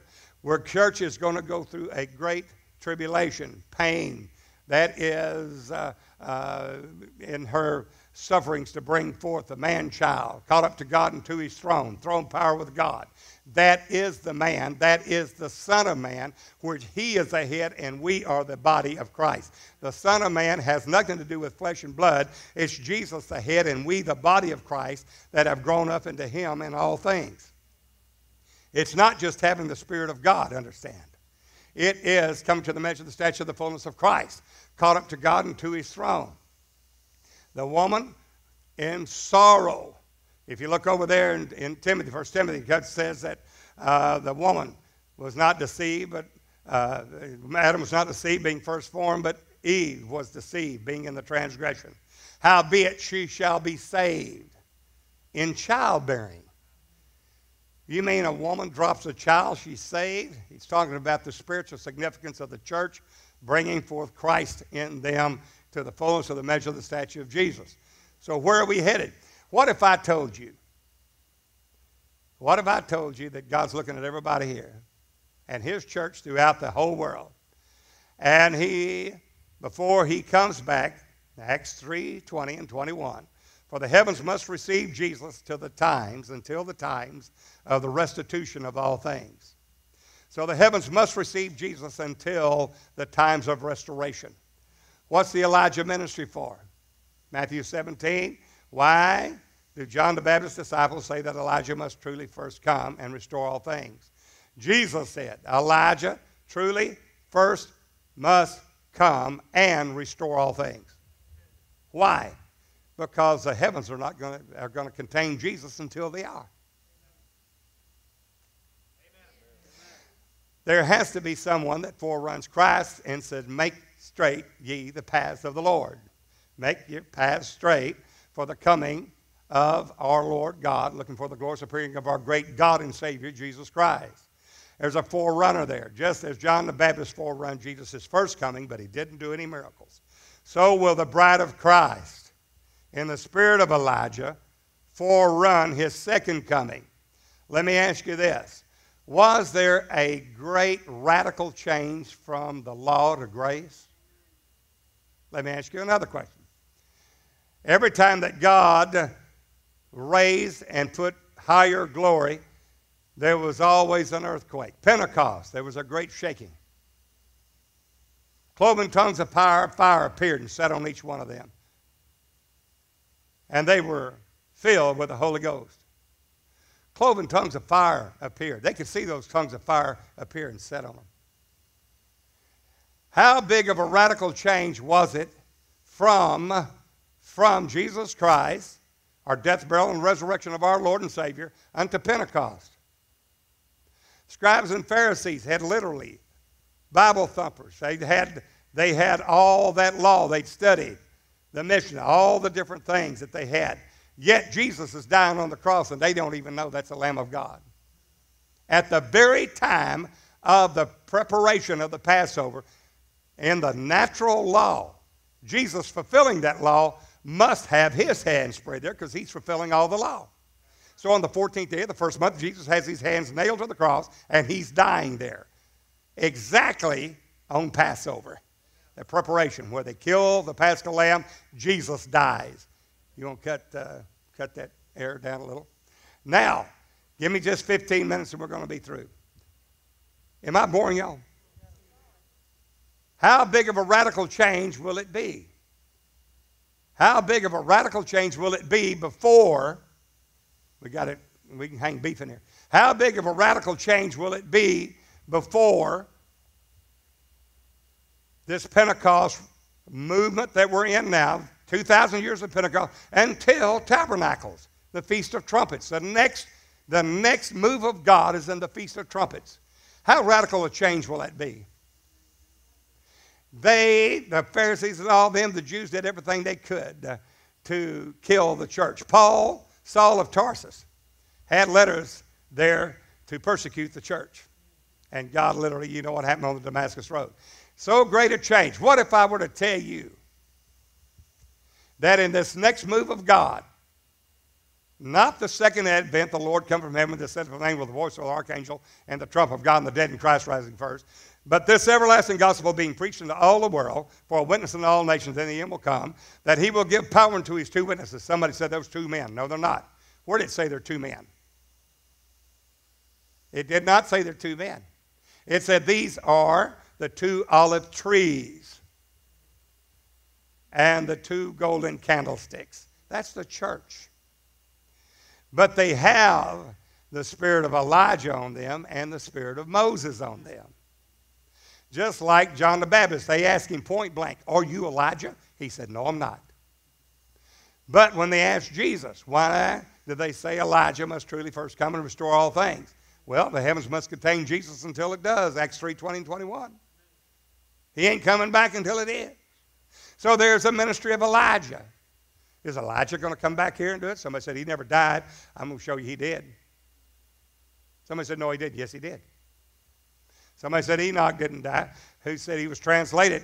But it that no man hath ascended up to heaven. I said, Yeah, Elijah did and Enoch did. No, he didn't. No man hath ascended up to heaven, but he that came down from heaven, even the Son of Man which is in heaven. Case closed. If you look in Hebrews 11, it said, These all died, having never received the promise. Enoch's mentioned. He's translated, He shall not taste of death. That literally means that he went forward into another era of glory, another era of time. There is no person that has ever went to heaven without without the blood of Jesus Christ. You see, somebody said thief on the cross did. You better take another look at it. The thief is dying on the cross. The other one's railing on Jesus. Did Jesus even look at him? Didn't so much as look at him. People rail on you, let them go. It's not them. The devil taketh them at will. You're not wrestling against flesh and blood, against principalities, powers, rulers of darkness of this world, spiritual wickedness in high places. Let them rave on. If they had called the master of the house Beelzebub, how much more will they call you Beelzebub? Don't even waste your time and effort on it. Don't get mad. Don't get sad, but be glad, for great is your reward in heaven. Hallelujah. Don't let them get to you. When they get to you, they got you. The devil says, Got you. Why? Because you gave into it. Don't do that. Well, Jesus, literally our Lord God Himself, as He, he told the disciples of John, Elijah must truly first come and restore all things. Then he kicks it back and said, But Elijah has already come. He spoke in the future, and then he spoke, he has past already come. Why? Because they'd already cut off the head of John the Baptist, put it in a charger. What I'm trying to tell you is that God is getting us prepared for the work of the ministry. The ministry of Jesus Christ to carry it to the whole world. That the Lord God Himself will have a people that will come and caught up to God and to His throne. These are the two olive trees, which are the two golden candlesticks, that they're given power for 42 months, time times and half, three and a half years.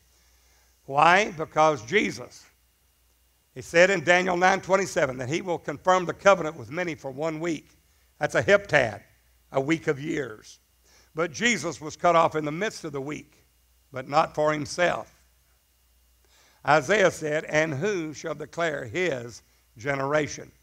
The generation that shall be counted for the seed. Therefore, there remains another three and a half year Jesus' ministry for the work of the ministry, which God has been working on in the church for literally over 2,000 years in Pentecost to get us ready for the coming of the Lord God Almighty. What if I was to tell you that it's going to be such a radical change from Pentecost that many, if they do not know this word, will literally say it's not of God, that these people are of the devil. Why would they say that? Because they have not known the Father nor me, Jesus said. Because Jesus went on the Mount of Transfiguration. There's a time before the cross that the body of Christ will be transfigured. That God will do such a move of God that it will translate us, uh, it will transform us, uh, not literally flesh becoming spirit and spirit becoming flesh, but a higher glory in the church than she's ever experienced heretofore. This is the Revelation 12 woman bringing forth a man child, caught up to God and to his throne. This is a remnant of her seed. That is the remnant of the church which keep the commandments of God and have the testimony of Jesus. The testimony of Jesus, Revelation 19:10, John saw a man. That man is Christ the head, and we the body of Christ, filling heaven and in earth. And when he saw this man, he bowed down to worship him. When? Because he thought this is definitely the Lord. If anybody knew the Lord, it was John. And the man said, See, thou doest it not. I am of thy fellow servants and thy brethren that have the testimony of Jesus. I'm one of you. The only thing is, I'm in a higher glory than what you are. Hallelujah. Yeah, I am not in Pentecost. I am in the, in the glory that's to come before the rapture of the church, before the coming of our Lord, before the second time he appears without sin unto salvation.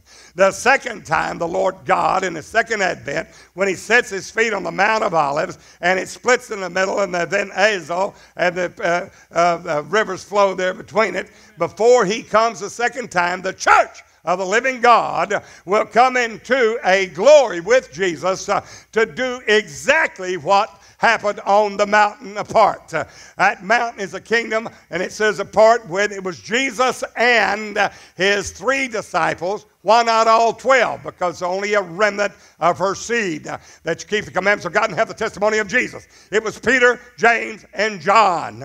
Peter, James, and John said, Let us build three tabernacles. What did they say? Let us build here uh, uh, three Shabbats, three Pentecosts. Let us build three booths for Pentecost. No, because it's not Pentecost. Let us build here three tabernacles because it's the Feast of Tabernacles. It's a higher glory than the church has ever experienced before. It's greater than the book of Acts. It's greater than anything that we have ever seen written hitherto. That's the reason the book of Acts does not have an amen on it. It's still in existence, still being written in heaven, and it's written right now that at this day that Lynette Walters came to the church, uh, uh, uh, Jesus Christ Church International sat there on the third piece of far back, back, and gave glory to God, hearing the word of God. It is still being written today. But the time is at hand. The night is far spent. The day is at hand.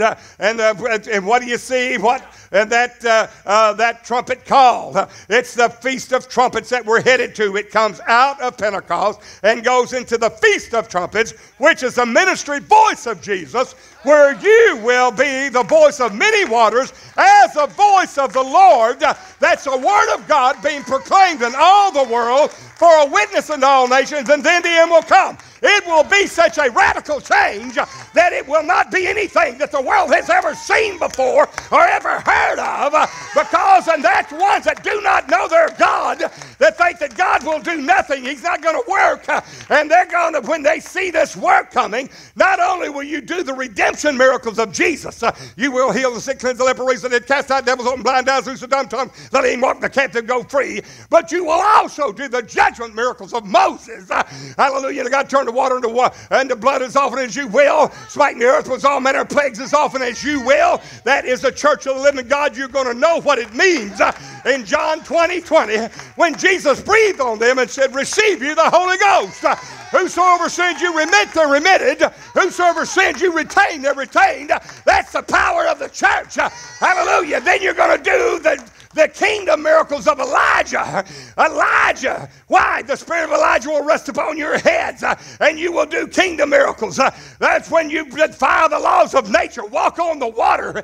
It rained not in the days of your prophecy. Uh, all these, it will be their the. But when they saw Moses, uh, that's ahead of the law. Uh, and it said it wasn't, it wasn't Moses doing those judgment miracles, uh, it was Jesus only. It wasn't Elijah doing those kingdom miracles. It was not Elijah. It was Jesus only. And in the last days, in the revelation of Jesus only, in the revelation of Jesus Christ, in the revelation of His uh, glory and His honor and His power, His kingdom, it will be Jesus only. You will go forth as the calves of a stall, and the wicked will be ashes and under the righteous feet. Let the saints of God rejoice in glory. Let the two-edged sword be in their hand and the praises of God in their mouth to bind their kings, to bind their kings and fetters, and their nobles and fetters of iron. This is to render the judgment written. Why? This honor have all these saints. This is what God's going to do. It's going to be such a radical change. The world said, no, we're only going to do the redemption miracles of Jesus. We're only going to heal the sick, cleanse the leper, raise the dead. No, you're going to have judgment miracles of Moses uh, before he comes. Uh, and you're going to do the kingdom miracles of Elijah before he comes. Uh, you will be working redemption miracles, kingdom miracles, judgment miracles before he comes the second time without sin unto salvation. Lift your hands and give him glory. Lift your hands and give him glory. Hallelujah. Lift your hands and give him glory. Lord God, as we're praying right here, I want Sister Melody to come up now and give a testimony of what God has done. What He's done for others, He will do for you. Amen. Hallelujah. We are at the very precipice, at the threshold of the door. If we're a concubine, we will die here with our hands on the threshold of the door. But if we are that bride of Christ, in which I believe we are, that we have not followed cunning the device fables, denying the only Lord God, that God has called us for his glory. Gross darkness shall cover the people. All the land will be gross darkness. And then the Lord God said, I'll rise and be a light upon you when I come to be glorified in you. Not our, it's not our glory, it's his glory. It's not our kingdom, it's his kingdom. It's not our honor, it's his honor. It's his power. We're strong in the power of his might, not ours. His. And this, let me ask you something. How radical of a change would that be? They'll say, You went out there and by the fire that proceedeth out of your mouth, you didn't take a gun and shoot nobody. All you did was preach the word of God. But God has said, In this manner shall they all be killed. Not only spiritual death, there will be people that will die. What if I were to tell you that everything that God ever did in that Word of God, ever, He's going to do it again? And this gospel of the kingdom will be preached in all the world for a witness in all nations. And then the end will come. Nadab and Abihu were priests of God, called of God. Yet they offered up strange fire. It wasn't the fire of the Holy Ghost. Strange fire. They were taking the offering for the people. Did God allow it? He killed them. He killed them. And when the golden censers, they burned them up with fire. And he said, told them, oh, Moses out there, those censers are hollow. They're, they're, they're, they're hollow. They're, and you're consecrated to me. Why? Because God's showing forth his judgment that if you mess with God and you err in that within the veil, you will die. What if I were to tell you there'll be preachers sitting behind a pulpit? And all of a sudden, while they're preaching, offering up strange fire, not the fire of the Holy Ghost, that God took and burn them up right behind a pulpit. Would you sit there and follow? What if you, what if, if he did that to Nadab and Abihu? How many knows that God will do a new thing in the earth? A new thing will the Lord God do. Though a man tell it, yet they will not believe. A woman shall compass a man. A woman surrounding a man. What is that? A great wonder in heaven, a woman clothed with the sun and moon under feet, upon her head a crown of 12 stars. She cried, travailing in pain. Why? Because she's got a baby in her. That baby is the man child, Jesus Christ, God forgotten to his throne. With the outward man perish, yet the inward man's renewed day by day. Somebody said that was Mary over there. No, it's not. It's a church of living God which keep the commands of God and have the testimony of Jesus. Somebody said, well, that's the two men, Moses and Elijah, these prophets. They're prophets because they prophesy the book of this prophecy. If any man add to the words of the book of this prophecy, what is that? The testimony of Jesus, which is the spirit of prophecy, knowing those things which come upon the face of the earth to try the earth. God is literally reaching out to his people in love to get them to come forward for his name's sake and do not stop and say, We've got it all in Laodicea. I'm clothed and fed. I don't have need of nothing. Thank you, preacher. I'll come listen to you, but I've got all I need. I don't need nothing from you. I don't need no word of God. I don't need nothing from God. I don't need nothing. I'm already saved, sanctified, and on my way to heaven. I don't need nothing from you, you, or anybody else. God said, No, it's not your clothes, you're poor, naked, wretched, and destitute. I counsel of thee to buy me gold tried in the fire. That's the reason there's going to be fire of tribulation like we've never seen. Right here in America, there's going to be there's going to be war on this soil like you've never seen. Islam, somebody said they're going to get over here. Honey, they're already here.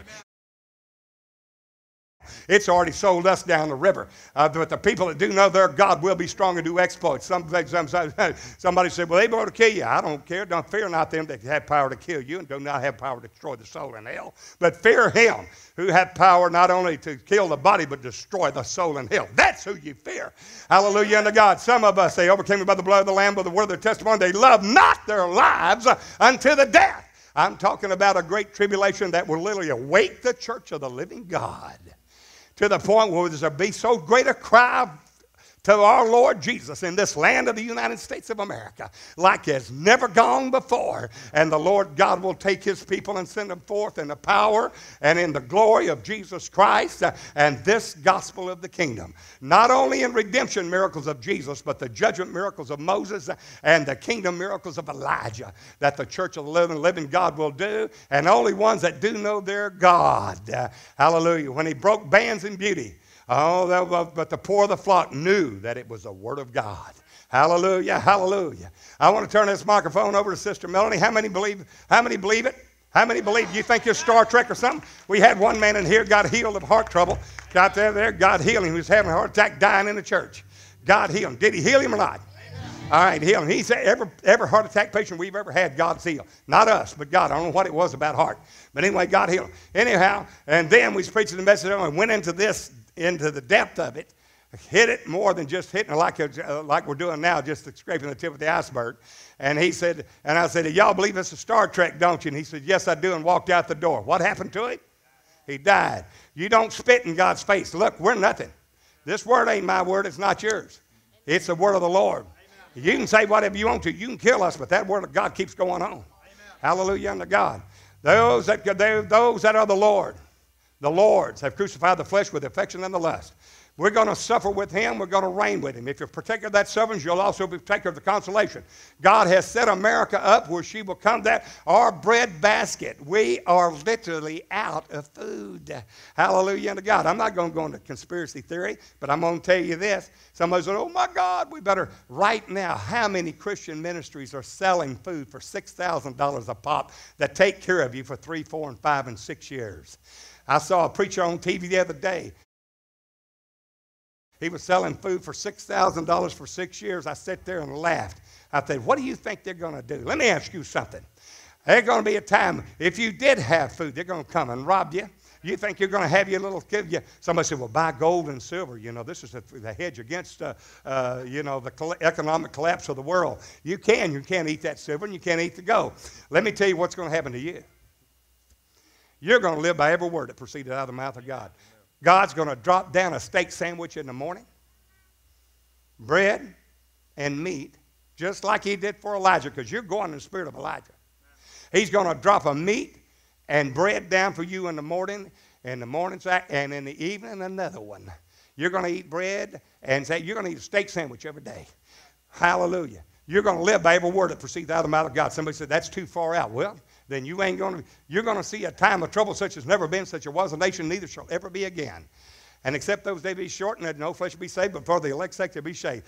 Go over there, and that's great tribulation. Immediately after, immediately after the tribulation of those days, shall the sign of Son of Man appear in heaven with power and great glory. We're going through it, folks. For once, we won't be able to run and hide. For judgment, God will lay to the line, and righteousness to the plummet. That's a height and depth, length, and width of Christ. And when judgment's in the earth, men will learn righteousness that Jesus Christ is the Lord of glory. He is the Father. Beside him, there is no God. When he, and this is when God arises to do his work, his strange work, and bring to pass his act, his strange act. How many so called Christians in the Trinity faith that are dying that don't have this truth? Guess who? Somebody said, Well, if it's the truth, he'll get it to him. What do you think we spent over $300,000 last year to go to Africa to bring them the word of the Lord? And people over there begging. I got here, we put up a tent, begging them to come in and whatever, and we got 30, 40 souls over there. We just throw it up and they're begging us right now, Brother Don. I don't know what we're going to do. Send us stuff over there. They're begging us right now. Please, we'll pay for it. Come on over. Well, we can't do that right now. Why? Because the Lord has placed us here. This is here. This, this is it here. We cannot jump, run, do anything. God, this is it here. This is that God wants a people here. There's going to be a people here. Amen. Hallelujah. May not be 300, maybe 30, maybe 3,000, maybe 30,000. I don't care how many, but bless God, whatever it is, it'll be here. And they're going to know this work of God that's coming upon the earth to try the earth. Oh, earth, earth, earth. Hear you the word of the Lord. It's right at the door. Watchman, watchman, what of the night? Watchman, what of the night? What do you see? In my seeing, I see a chariot of horses. I see a chariot of camels. I see a chariot of man. And what? It's not a chariot with men in it. It's a chariot of man. A chariot of camels. And it was cried daily in my hearing. And, and there, and it said, uh, What seest thou? He said, A lion, O Lord. A lion cometh. That's a lion of the tribe of Judah. That is the Lord God in the ministry voice of Jesus Christ. Uh, hallelujah. Watchman, what of the night? What of the night? Uh, the night cometh and also the morning. If you will return, return, come. Return where? Return and let us come back unto the Lord. Uh, let us come back into God. Come and let us return to the Lord, for he hath torn and he will heal us. He has smitten and he will bind us up. Hallelujah. And in the third day, after the third day, he will revive us. And in the third day he will lift us up and we will live in his sight.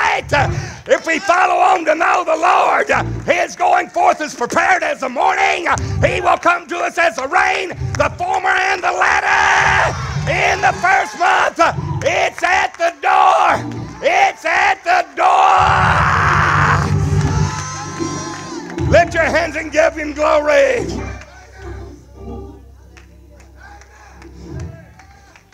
receive. We're going to believe God. We're going to believe God that in this gospel tent revival that there's going to be healings, miracles. God's going to confirm. God's going to confirm His word. With signs, miracles, signs, wonders, and gifts of the Holy Ghost. Turn this back down a little bit. I want you to receive uh, Sister Melanie with a hearty amen. I want you her to tell you and testify the goodness of God, what God has done amongst us with her husband, my son, right now in Jesus' name. Receive her with a hearty amen. Somebody lift your hands and give the Lord God of glory. Give him praise. Hallelujah. Praise the Lord. I, 2009, September 2009, we were in Fort Worth, Texas, and we have a we had a church building over there, and Brother Brad was working on the electricity in the building. Um, I was had a pretty long sanctuary. He was down in the front. There was a side hallway with a breaker box. I was totally at the other end of the church and at the other end of the sanctuary, cleaning the restrooms and all that stuff. And I had come out and come through the doors, and I saw Brother Brad crawling on his hands and knees into the sanctuary, and he couldn't speak, he couldn't do anything, he was just grabbing his chest he was spitting up blood by the pints. I mean, he was just spitting up tons of blood. He couldn't say anything, and I knew what had happened. I knew he'd been electrocuted. I took off and I just made a mad dash to the motorhome out there where Brother and Sister Beard were, and uh, Brother Robert and Sister Angela. And I was just screaming, Brad's been electrocuted. Come, come, come, come, come. So by the time we got back into the sanctuary, Brad had crawled outside, outside, and was just, he was still on his hands and knees, couldn't stand up. So we just started praying. We just started believing God. We just, you know, we were shaking the throne. We were getting a hold of God. They were machine gun in tongues. I mean, it was, it. I mean, God definitely was on the scene. And Brad, Brother Brad, grabbed his chest and he raised up. He said, I just felt the Lord touch me. Yeah. And he was able to speak. He said, I felt the hand of God yeah. touch me right there. And he was able to actually start talking. He quit, he quit spitting up the blood and he's anybody that knows Brother Brad knows he's extremely hard headed. So we kept saying we need to go to the hospital and just get checked out, you know. And he wouldn't go. We argued with him for a couple hours. We finally got him, threw him in the car, and against his will, and took him. he said, "I know God's healed me. I know God's healed me." And we get to the emergency room. I run in. I tell him he was electrocuted. They take him back immediately. The emergency room's full of people. They just grab him and take him straight back. They did EKG. Now, when we get into the room, they have him put the gown on before they take him back for x rays. He had burns all over him, which I didn't see before we get to the hospital. Of course, he had his clothes on. When they take his clothes off to put the gowns on, he was completely burned. His chest, his legs, his thighs was just black. He was burnt all over. They take him back to the emergency room. We we pray in the emer- you know we pray there in the room. They take him back for EKGs, MRIs, all these X-rays. They bring him back. It's about 10, 15 minutes later. They bring him back into the room, tell him to put his clothes on. They said everything come back fine. There's nothing wrong. Everything's fine. So we were thanking God, and when he went to take his clothes off, there was not one burn mark on him anywhere. The nurses could not believe it. They were just like, "What?" where where are the burns? Like they couldn't get over it. I mean, there was not one, even a little red mark on him, nowhere. Uh, they take him home. They have us going to the doctor constantly to keep getting checkups to make sure everything's still okay. His kidneys started shutting down on him. They were working. I mean, I don't even think they were working. Uh, what was it, twenty percent? I mean, they had almost completely shut down on him. And this was just a few days after this happened. So when the church starts praying, we start having prayer. The church is praying, and he goes back in. Within seven days from that time, we go back in. His kidneys are working better than they were talking dialysis now. This was six years ago. He's 41 now. So, I mean, you're talking putting a man that age on dialysis. His kidneys were shut down.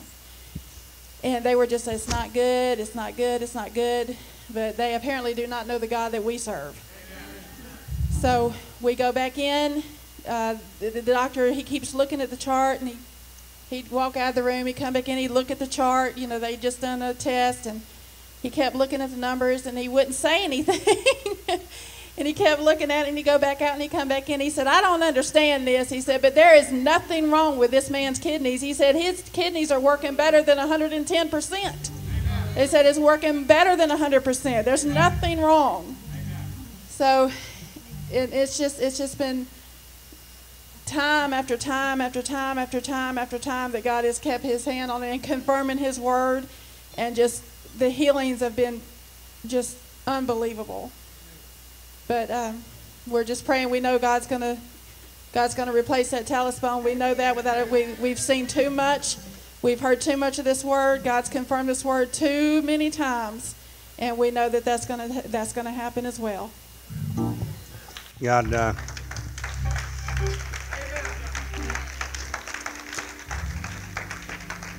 I love my son. I told him he had a call. He's always been there for dad to help me. I've put tents up ever since he's five years old. And uh, I kept telling him he's got a ministry. God wants him in the Word right now. Brother Brad wouldn't listen to me. And a few things happened. And then I told him that Sunday, I said, if you don't get into it, something worse is going to happen. Next week, he falls out of a tree, moving a mobile, mobile home into the lots where we are out there. And he falls 30 feet. Uh, amongst cinder blocks, could have killed him. Uh, when Sister Adriana called me, that's his daughter, my granddaughter. She said, uh, "Dad's fell out of a tree. His skull is broke, is is uh, cracked, I believe. His skull is cracked." Well, I left the church up here, breaking the speed limit, going as fast as I could, thinking. Uh, but all the time, I knew he's not going to die. This is for the word. So, Brother Brad better get in the word. Is all I can say. He gets in the word, he'll be healed. If he doesn't, it's going to turn into more and more the same it'll be worse than what it was now. So you think God's playing a game. He's not playing a game. He's my son. I'm not trying to uh, hit or be hard hearted, but I'm just telling you the truth. Some of you, how you handle this word will determine your destiny. The time of your visitation, what will you do in the time of your visitation and in the day of the solemn feast? That day of visitation, when you hear the word, take heed how you hear. With the same measure you meet with all, will be measured to you again. To him the half shall be given, and he'll have the more. In other words, when that word's given to you to go more, then take it. If you don't, and he that, that and he that does not hear will be taken away even that which he has. That's the reason you see preachers going along and blow everything that you would have never believed would have happened. And the reason is with God, it's all or nothing. There's no middle, there's no uh, straddle the fence. There's no, it's either gather or scatter, for or against. There's no lukewarmness. He said, You draw close to me with your heart, with your mouth, but your heart's far from me. You're a Laodicea to see it of me. You're, you're not hot or cold. You're lukewarm. I would you were hot, either in fervent, the, the effectual fervent prayer of a righteous man availeth much. The effectual fervent prayer of a righteous man. That's a heated, hot. The heat is your love for God. That's the reason the, the church at Ephesus used to be one of the greatest churches in the book of Acts. But then it's the first church in the book of Revelation, and, he, and the Lord says, I know thy works. He says the same thing to Ephesus. He says the same thing to Smyrna, Th- uh, Pergamon, Thyatira. He says the same thing to Sardis, Philadelphia, and Laodicea. He says to all those seven churches, I know thy works. Why? Because he's looking for those works that accompany salvation unto a perfect man, to the measure of the stature of the fullness of Christ. I want to say a couple of things here. The church world says, He that believeth and is saved shall be baptized. Baptism has no work whatsoever. It doesn't have anything to do in the washing away or expiating of sins. So baptism doesn't make any difference. You want to be baptized, be baptized, but it doesn't have anything to do with salvation. You're already saved. Well, if that's the case, then why did Mark 16 say, He that believeth and is baptized shall be saved, rather than he that believeth and is saved shall be baptized? Why is baptism? Romans 2 28, 29 he is not a Jew that is one outwardly in the circumcision of the flesh, but he is a Jew that is one inwardly, and that circumcision of the heart. How do you get the heart circumcised? Somebody said, well, that's the physical organ. No, circumcision of the heart, and that in the spirit, whose praise is not of man but of God. Romans 6, baptism doesn't do anything for you. What know you not? As many as were baptized were baptized into Jesus' death. Why? Romans 6 4, that the body of the sins uh, of the flesh might be destroyed. When you take a look at Colossians 2, verse 9 through 12, and it says, All the fullness of the mystery of God and of the Father and of Christ, for all the fullness of the Godhead, everything God is, was, or ever will be, dwelleth at his houses permanently in Christ Jesus bodily, one body.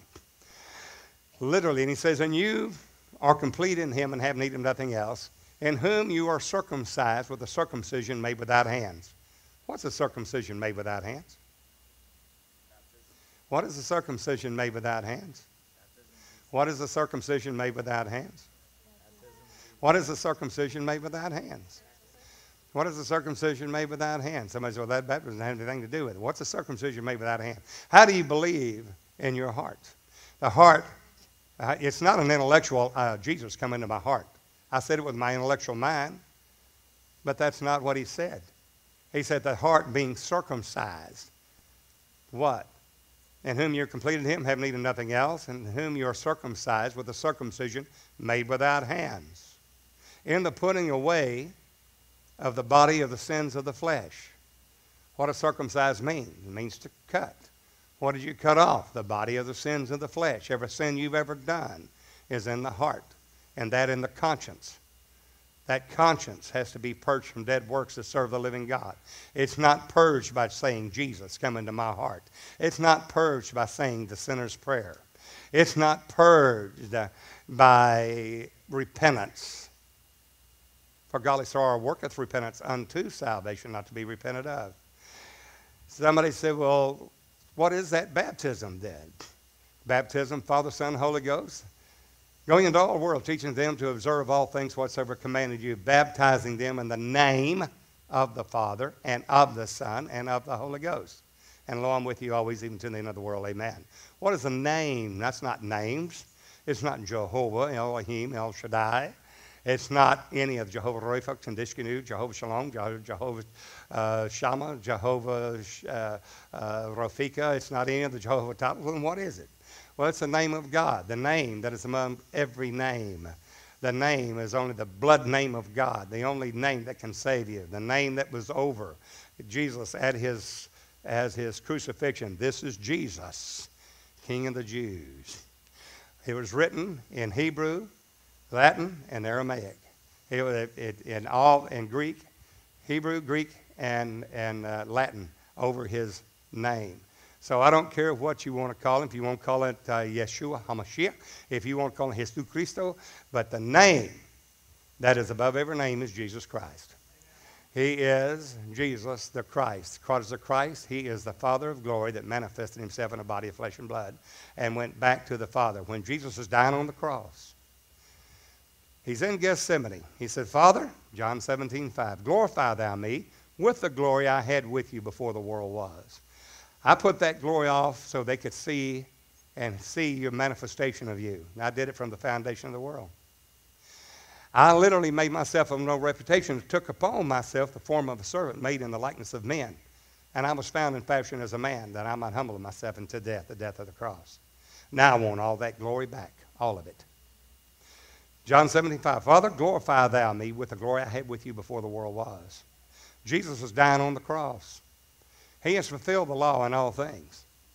He has literally taken the after the order of Melchizedek, our king priest. He has fulfilled the law in every respect, body, soul, and spirit, never failing in one point, never missing the mark in one area. As he dies on the cross, he said, Father, into thy hand I commend my spirit. And he gave up the ghost. Jesus died. That's not a, that's not a pseudo death. He's dead. D E A D, dead.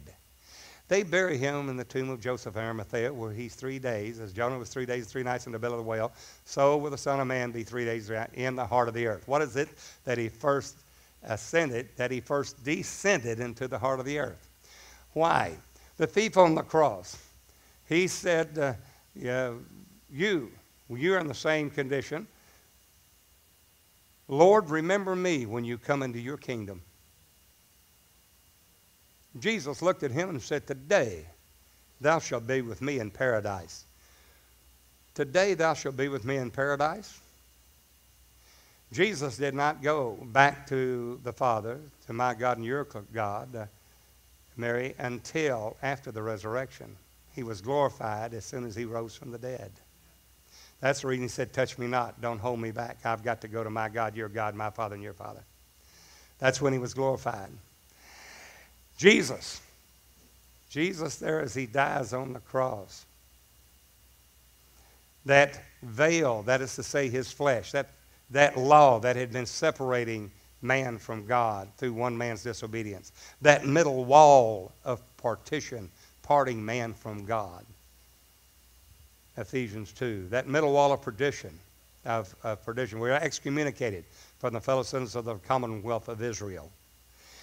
Literally, he broke down the middle wall of partition in his own flesh and blood, dying on the cross, and the last drop of blood falls from off his toe. There's a great earthquake, and the veil that was in the temple rent from top to bottom, 30 feet high, 3 foot wide in Herod's temple, showing us that the way into the holiest was now made manifest. Breaking down the middle wall of partition taking the ordinances of the law that was contrary to us. That sin, by that law, was now destroying us. Literally nailed it to his cross, nailing the ordinances thereby that were contrary to us, and nailed it to his cross. That veil rent from top to bottom, and the self of that man, Christ Jesus, went back, was glorified with God's own self set down in the Father's throne. And when you make that portals of glory, you will see one throne, and the Father of glory, the God of this, this whole creation, will be Jesus Christ. There won't be another throne over there with the Son of God and another throne for the Holy Ghost. That came in the Council of Nicaea in 325 AD, which is a lie out of hell. Somebody said, Well, I don't see how that can be? Well, Jesus said when they came to him in John 8, they said, Your record is not true, for you bear record of yourself. Your record's not true. Here's the man Christ Jesus said, Though I bear record of myself, my record is true. For I'm not alone. Oh, you're not alone. I don't see anybody else with you. Right. He is, the Father is invisible. No man has seen God in any time, John 1, but the only begotten Son, which is in the bosom of the Father, he hath declared him, manifested him, shown him, revealed him. The image of the invisible God, the express image of his singular person. Well, Jesus said, It's written in your law. This is John 8, 13 on through 27. It's written in your law, the testimony of two men's true. I'm one that bear witness of myself, and my Father that is with me he beareth witness of me. Now, wait a minute. What do you think the next question is? Where is your father? I don't see another man here.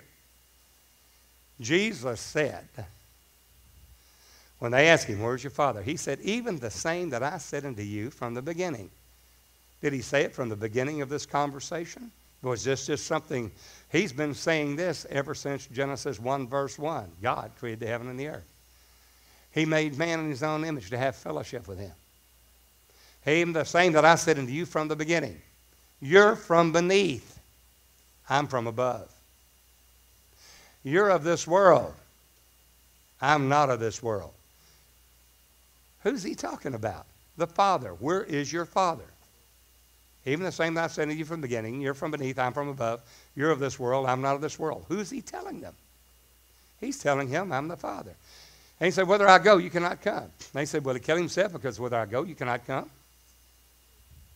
And Jesus said again, Except you believe that I am he, you will die in your sins. This they understood not that he spake to them of the Father. If you do not believe that Jesus is the Father of glory by his word, he said you will die in your sins. I didn't say it, He said it. We preach it, we preach it, and people get sad, mad, or glad. Sad because they know it's the truth but will not turn from it and stay in their own little belief. Mad because they don't believe it and want to kill you. These things will do unto you because they have not known the Father nor me. There's a spirit there that they hate. Not you, but they ate the Spirit of God. Or they get glad. They believe it, receive it, come on in. Or they say, Brother, me and you, we'll write together, we're going to do it together. Well, sad matter, glad. Jesus said, The witness of two men is true. I'm one, and my Father is that other man. What is that other man? No man hath ascended up to heaven but he that came down from heaven, even the Son of Man which is in heaven. That Son of Man came down from heaven as the bread of life. That's not a literal, physical, human man. Man encased in a humus body, human. It's the man, God Almighty. God goeth forth as a man. He's not a sheep, he's not an it, he's God Almighty. For this, for this church world out here says baptism does not save you. We're going to be preaching this tent revival, the power of God. He'll heal you, cleanse you. He will open the blind eyes, loose the dumb tongues. He'll let the lame walk, the captive go free. Whatever you need, He will meet it. On this baptism, he that believeth in is baptized shall be saved. In October the 15th in 1975, I was baptized in the Spring Hill Baptist Church, Father, Son, Holy Ghost. And I didn't know anything about the Holy Ghost. Less than a year later, I received the baptism of the Holy Ghost. They kicked me out of the church for speaking in tongues. But don't worry, they kicked a lot of other people out. There's just one sinner kicking another sinner out anyway. Why is it so necessary in baptism? Because that is, Colossians 2.10, you're complete in him, have need of nothing else, in whom you are circumcised with a circumcision made without hands, and the putting away of the filth of the flesh. There's no other way to have your sins remitted rather than repentance and baptism. No baptism, you've got to be born of the water and the Spirit. There's two baptisms there baptism of the Spirit of God, baptism of the water. Two baptisms the doctrine of baptism, the resurrection, eternal judgment. This will do if God permit. You must be born of the water and the Spirit. Let's take a look at it. Through the operation made without hands, to the putting away of the body of the sins of the flesh, in whom you are circumcised uh, in the circumcision of Christ. Through the faith in the operation of God in the circumcised circumcision of your heart. God takes a spiritual scaffold when you go down in his name. And literally takes a spiritual scaffold in an operation in the name of the Father. John 17, Father, I've manifested thy name. I kept them through thy name. Jesus came and said, In the name of the Father, I have come in my Father's name. Hosanna, Hosanna, blessed is he that cometh in the name of the Lord. The name of the Lord is Jesus. The name of the Father Jesus, John 17. The name of the Son, Jesus. The name of the Holy Ghost. He said, I'll send the Comforter. Pray the Father send you another Comforter, which is the Holy Ghost, whom the world cannot receive, because it saith him not, neither knoweth him, but you know him. For he dwelleth with you and shall be in you. I will not leave you comfortless. I will come to you. I am the Father of glory. And then it comes on down of three or four more verses, and he said, I'll pray, send the Comforter, the Holy Ghost, in my name. What's the name of the Holy Ghost? Peter, having the revelation of the name of the Father and of the Son and of the Holy Ghost, said, Repent and be baptized, every one of you, in the name of Jesus Christ for the remission of your sins, and you shall receive the gift of the Holy Ghost. That is baptism of the water, baptized in the name of Jesus Christ for the remission of sins, baptism of the Spirit, and you shall receive the gift of the Holy Ghost. There's you're born of the water and the Spirit in one verse, Acts 2.38. What would they do in the book of Acts? Was there anybody, anyone ever baptized Father, Son, Holy Ghost? No, that's not the name of the Father and of the Son. The name of the Son is not Son. So if you got baptized, Father, Son, Holy Ghost, all you did was get wet, and there's no circumcision in the heart. You have to take on the name. As many as been baptized in Christ, they put on Christ. I talked to an 85-year-old woman, had the Holy Ghost since she was 15 years old, written all books of the Bible and all that. I looked at it; it was the biggest joke I ever read. I don't want to hurt her feelings, but I told her straight for it, are you baptized in the name of Jesus Christ? My wife listening there. She, I've been baptized in fire. Well, you got the baptism of the Holy Ghost but you don't have the birth of the water. Now, you can laugh all you want to, you'll be laughing in hell. So, the Bible said in 1 Peter 3 that Jesus, in the days of the long suffering of God, while in the days of Noah, wherein eight souls were saved by water, the like figure, baptism, doth also now save us. Not the putting away of the filth of the flesh, but the answer of a good conscience toward God. Conscience in the spirit of man. The heart has to be circumcised in the spirit through the operation of God, which is the circumcision of the heart, the circumcision of Christ made without hand. Somebody said that's not faith. By faith in the operation of God. Amen. Colossians 2, verse 12. Tell me it's not so.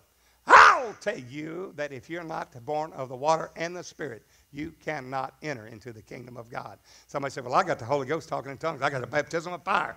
You ain't got the baptism of water? Paul, Acts the 10th chapter, they, whenever they went to the house of Cornelius, a call for Peter. Down a little bit. Peter. And let's go to have Simon a tanner and it was told in the house of Cornelius what he should do. As Peter preached the Lord Jesus Christ, the Holy Ghost fell on them. That the Italian band, Italiano, hello, spaghetti and the meatballs. And uh, he said, Can any man forbid water that these should not be baptized? who have received the Holy Ghost as well as we. For he heard them speak with tongues and magnified God. Was that it? And they said, Well, you've already got the Holy Ghost. That's it. Go on to the house. You don't have to worry about it. And Peter commanded them to be baptized in the name of the Lord Jesus. Acts 19, they have some believers down there. We have old Apollos, the silver tongued orator of Alexandria, has already been through there. Paul wanted him to travel with him. Apollos wouldn't go. He didn't thought it not a good season at this time. Paul wanted Apollos to travel with him. Well, Apollos was mighty in the scriptures, but only that pertaining to John's baptism. Apollos had already been through there, and these people had believed, and I can show you that they would not be saved even though they were believers. Hmm. For to believe means to trust and adhere to and obey. The Holy Ghost is given to them that obey him, according to the Word of God. Whenever the Paul came up there and he saw a certain brother, and he said, Have you received the Holy Ghost since you believed? He said, Sir, we don't know whether there be any Holy Ghost. Acts 19. He said, Then under what were you baptized? In other words, you get baptized and have the circumcision of the heart, and you believe in the heart, well, then you're going to receive the Holy Ghost.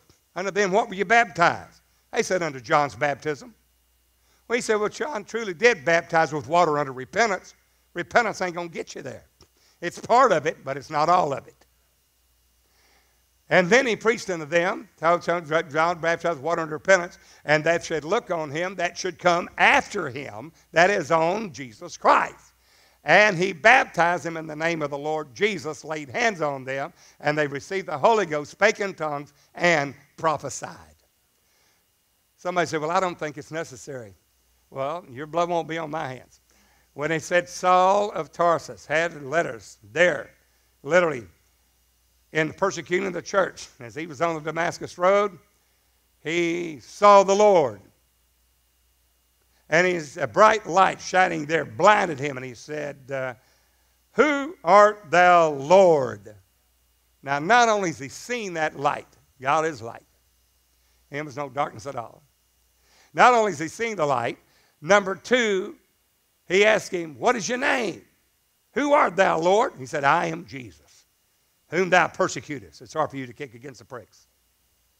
I am Jesus. He has a revelation of the name of Jesus. Three, he tells him what he's to do, that he will be an example, the long serving of preaching this gospel of Jesus Christ. He knows the will of God for his life.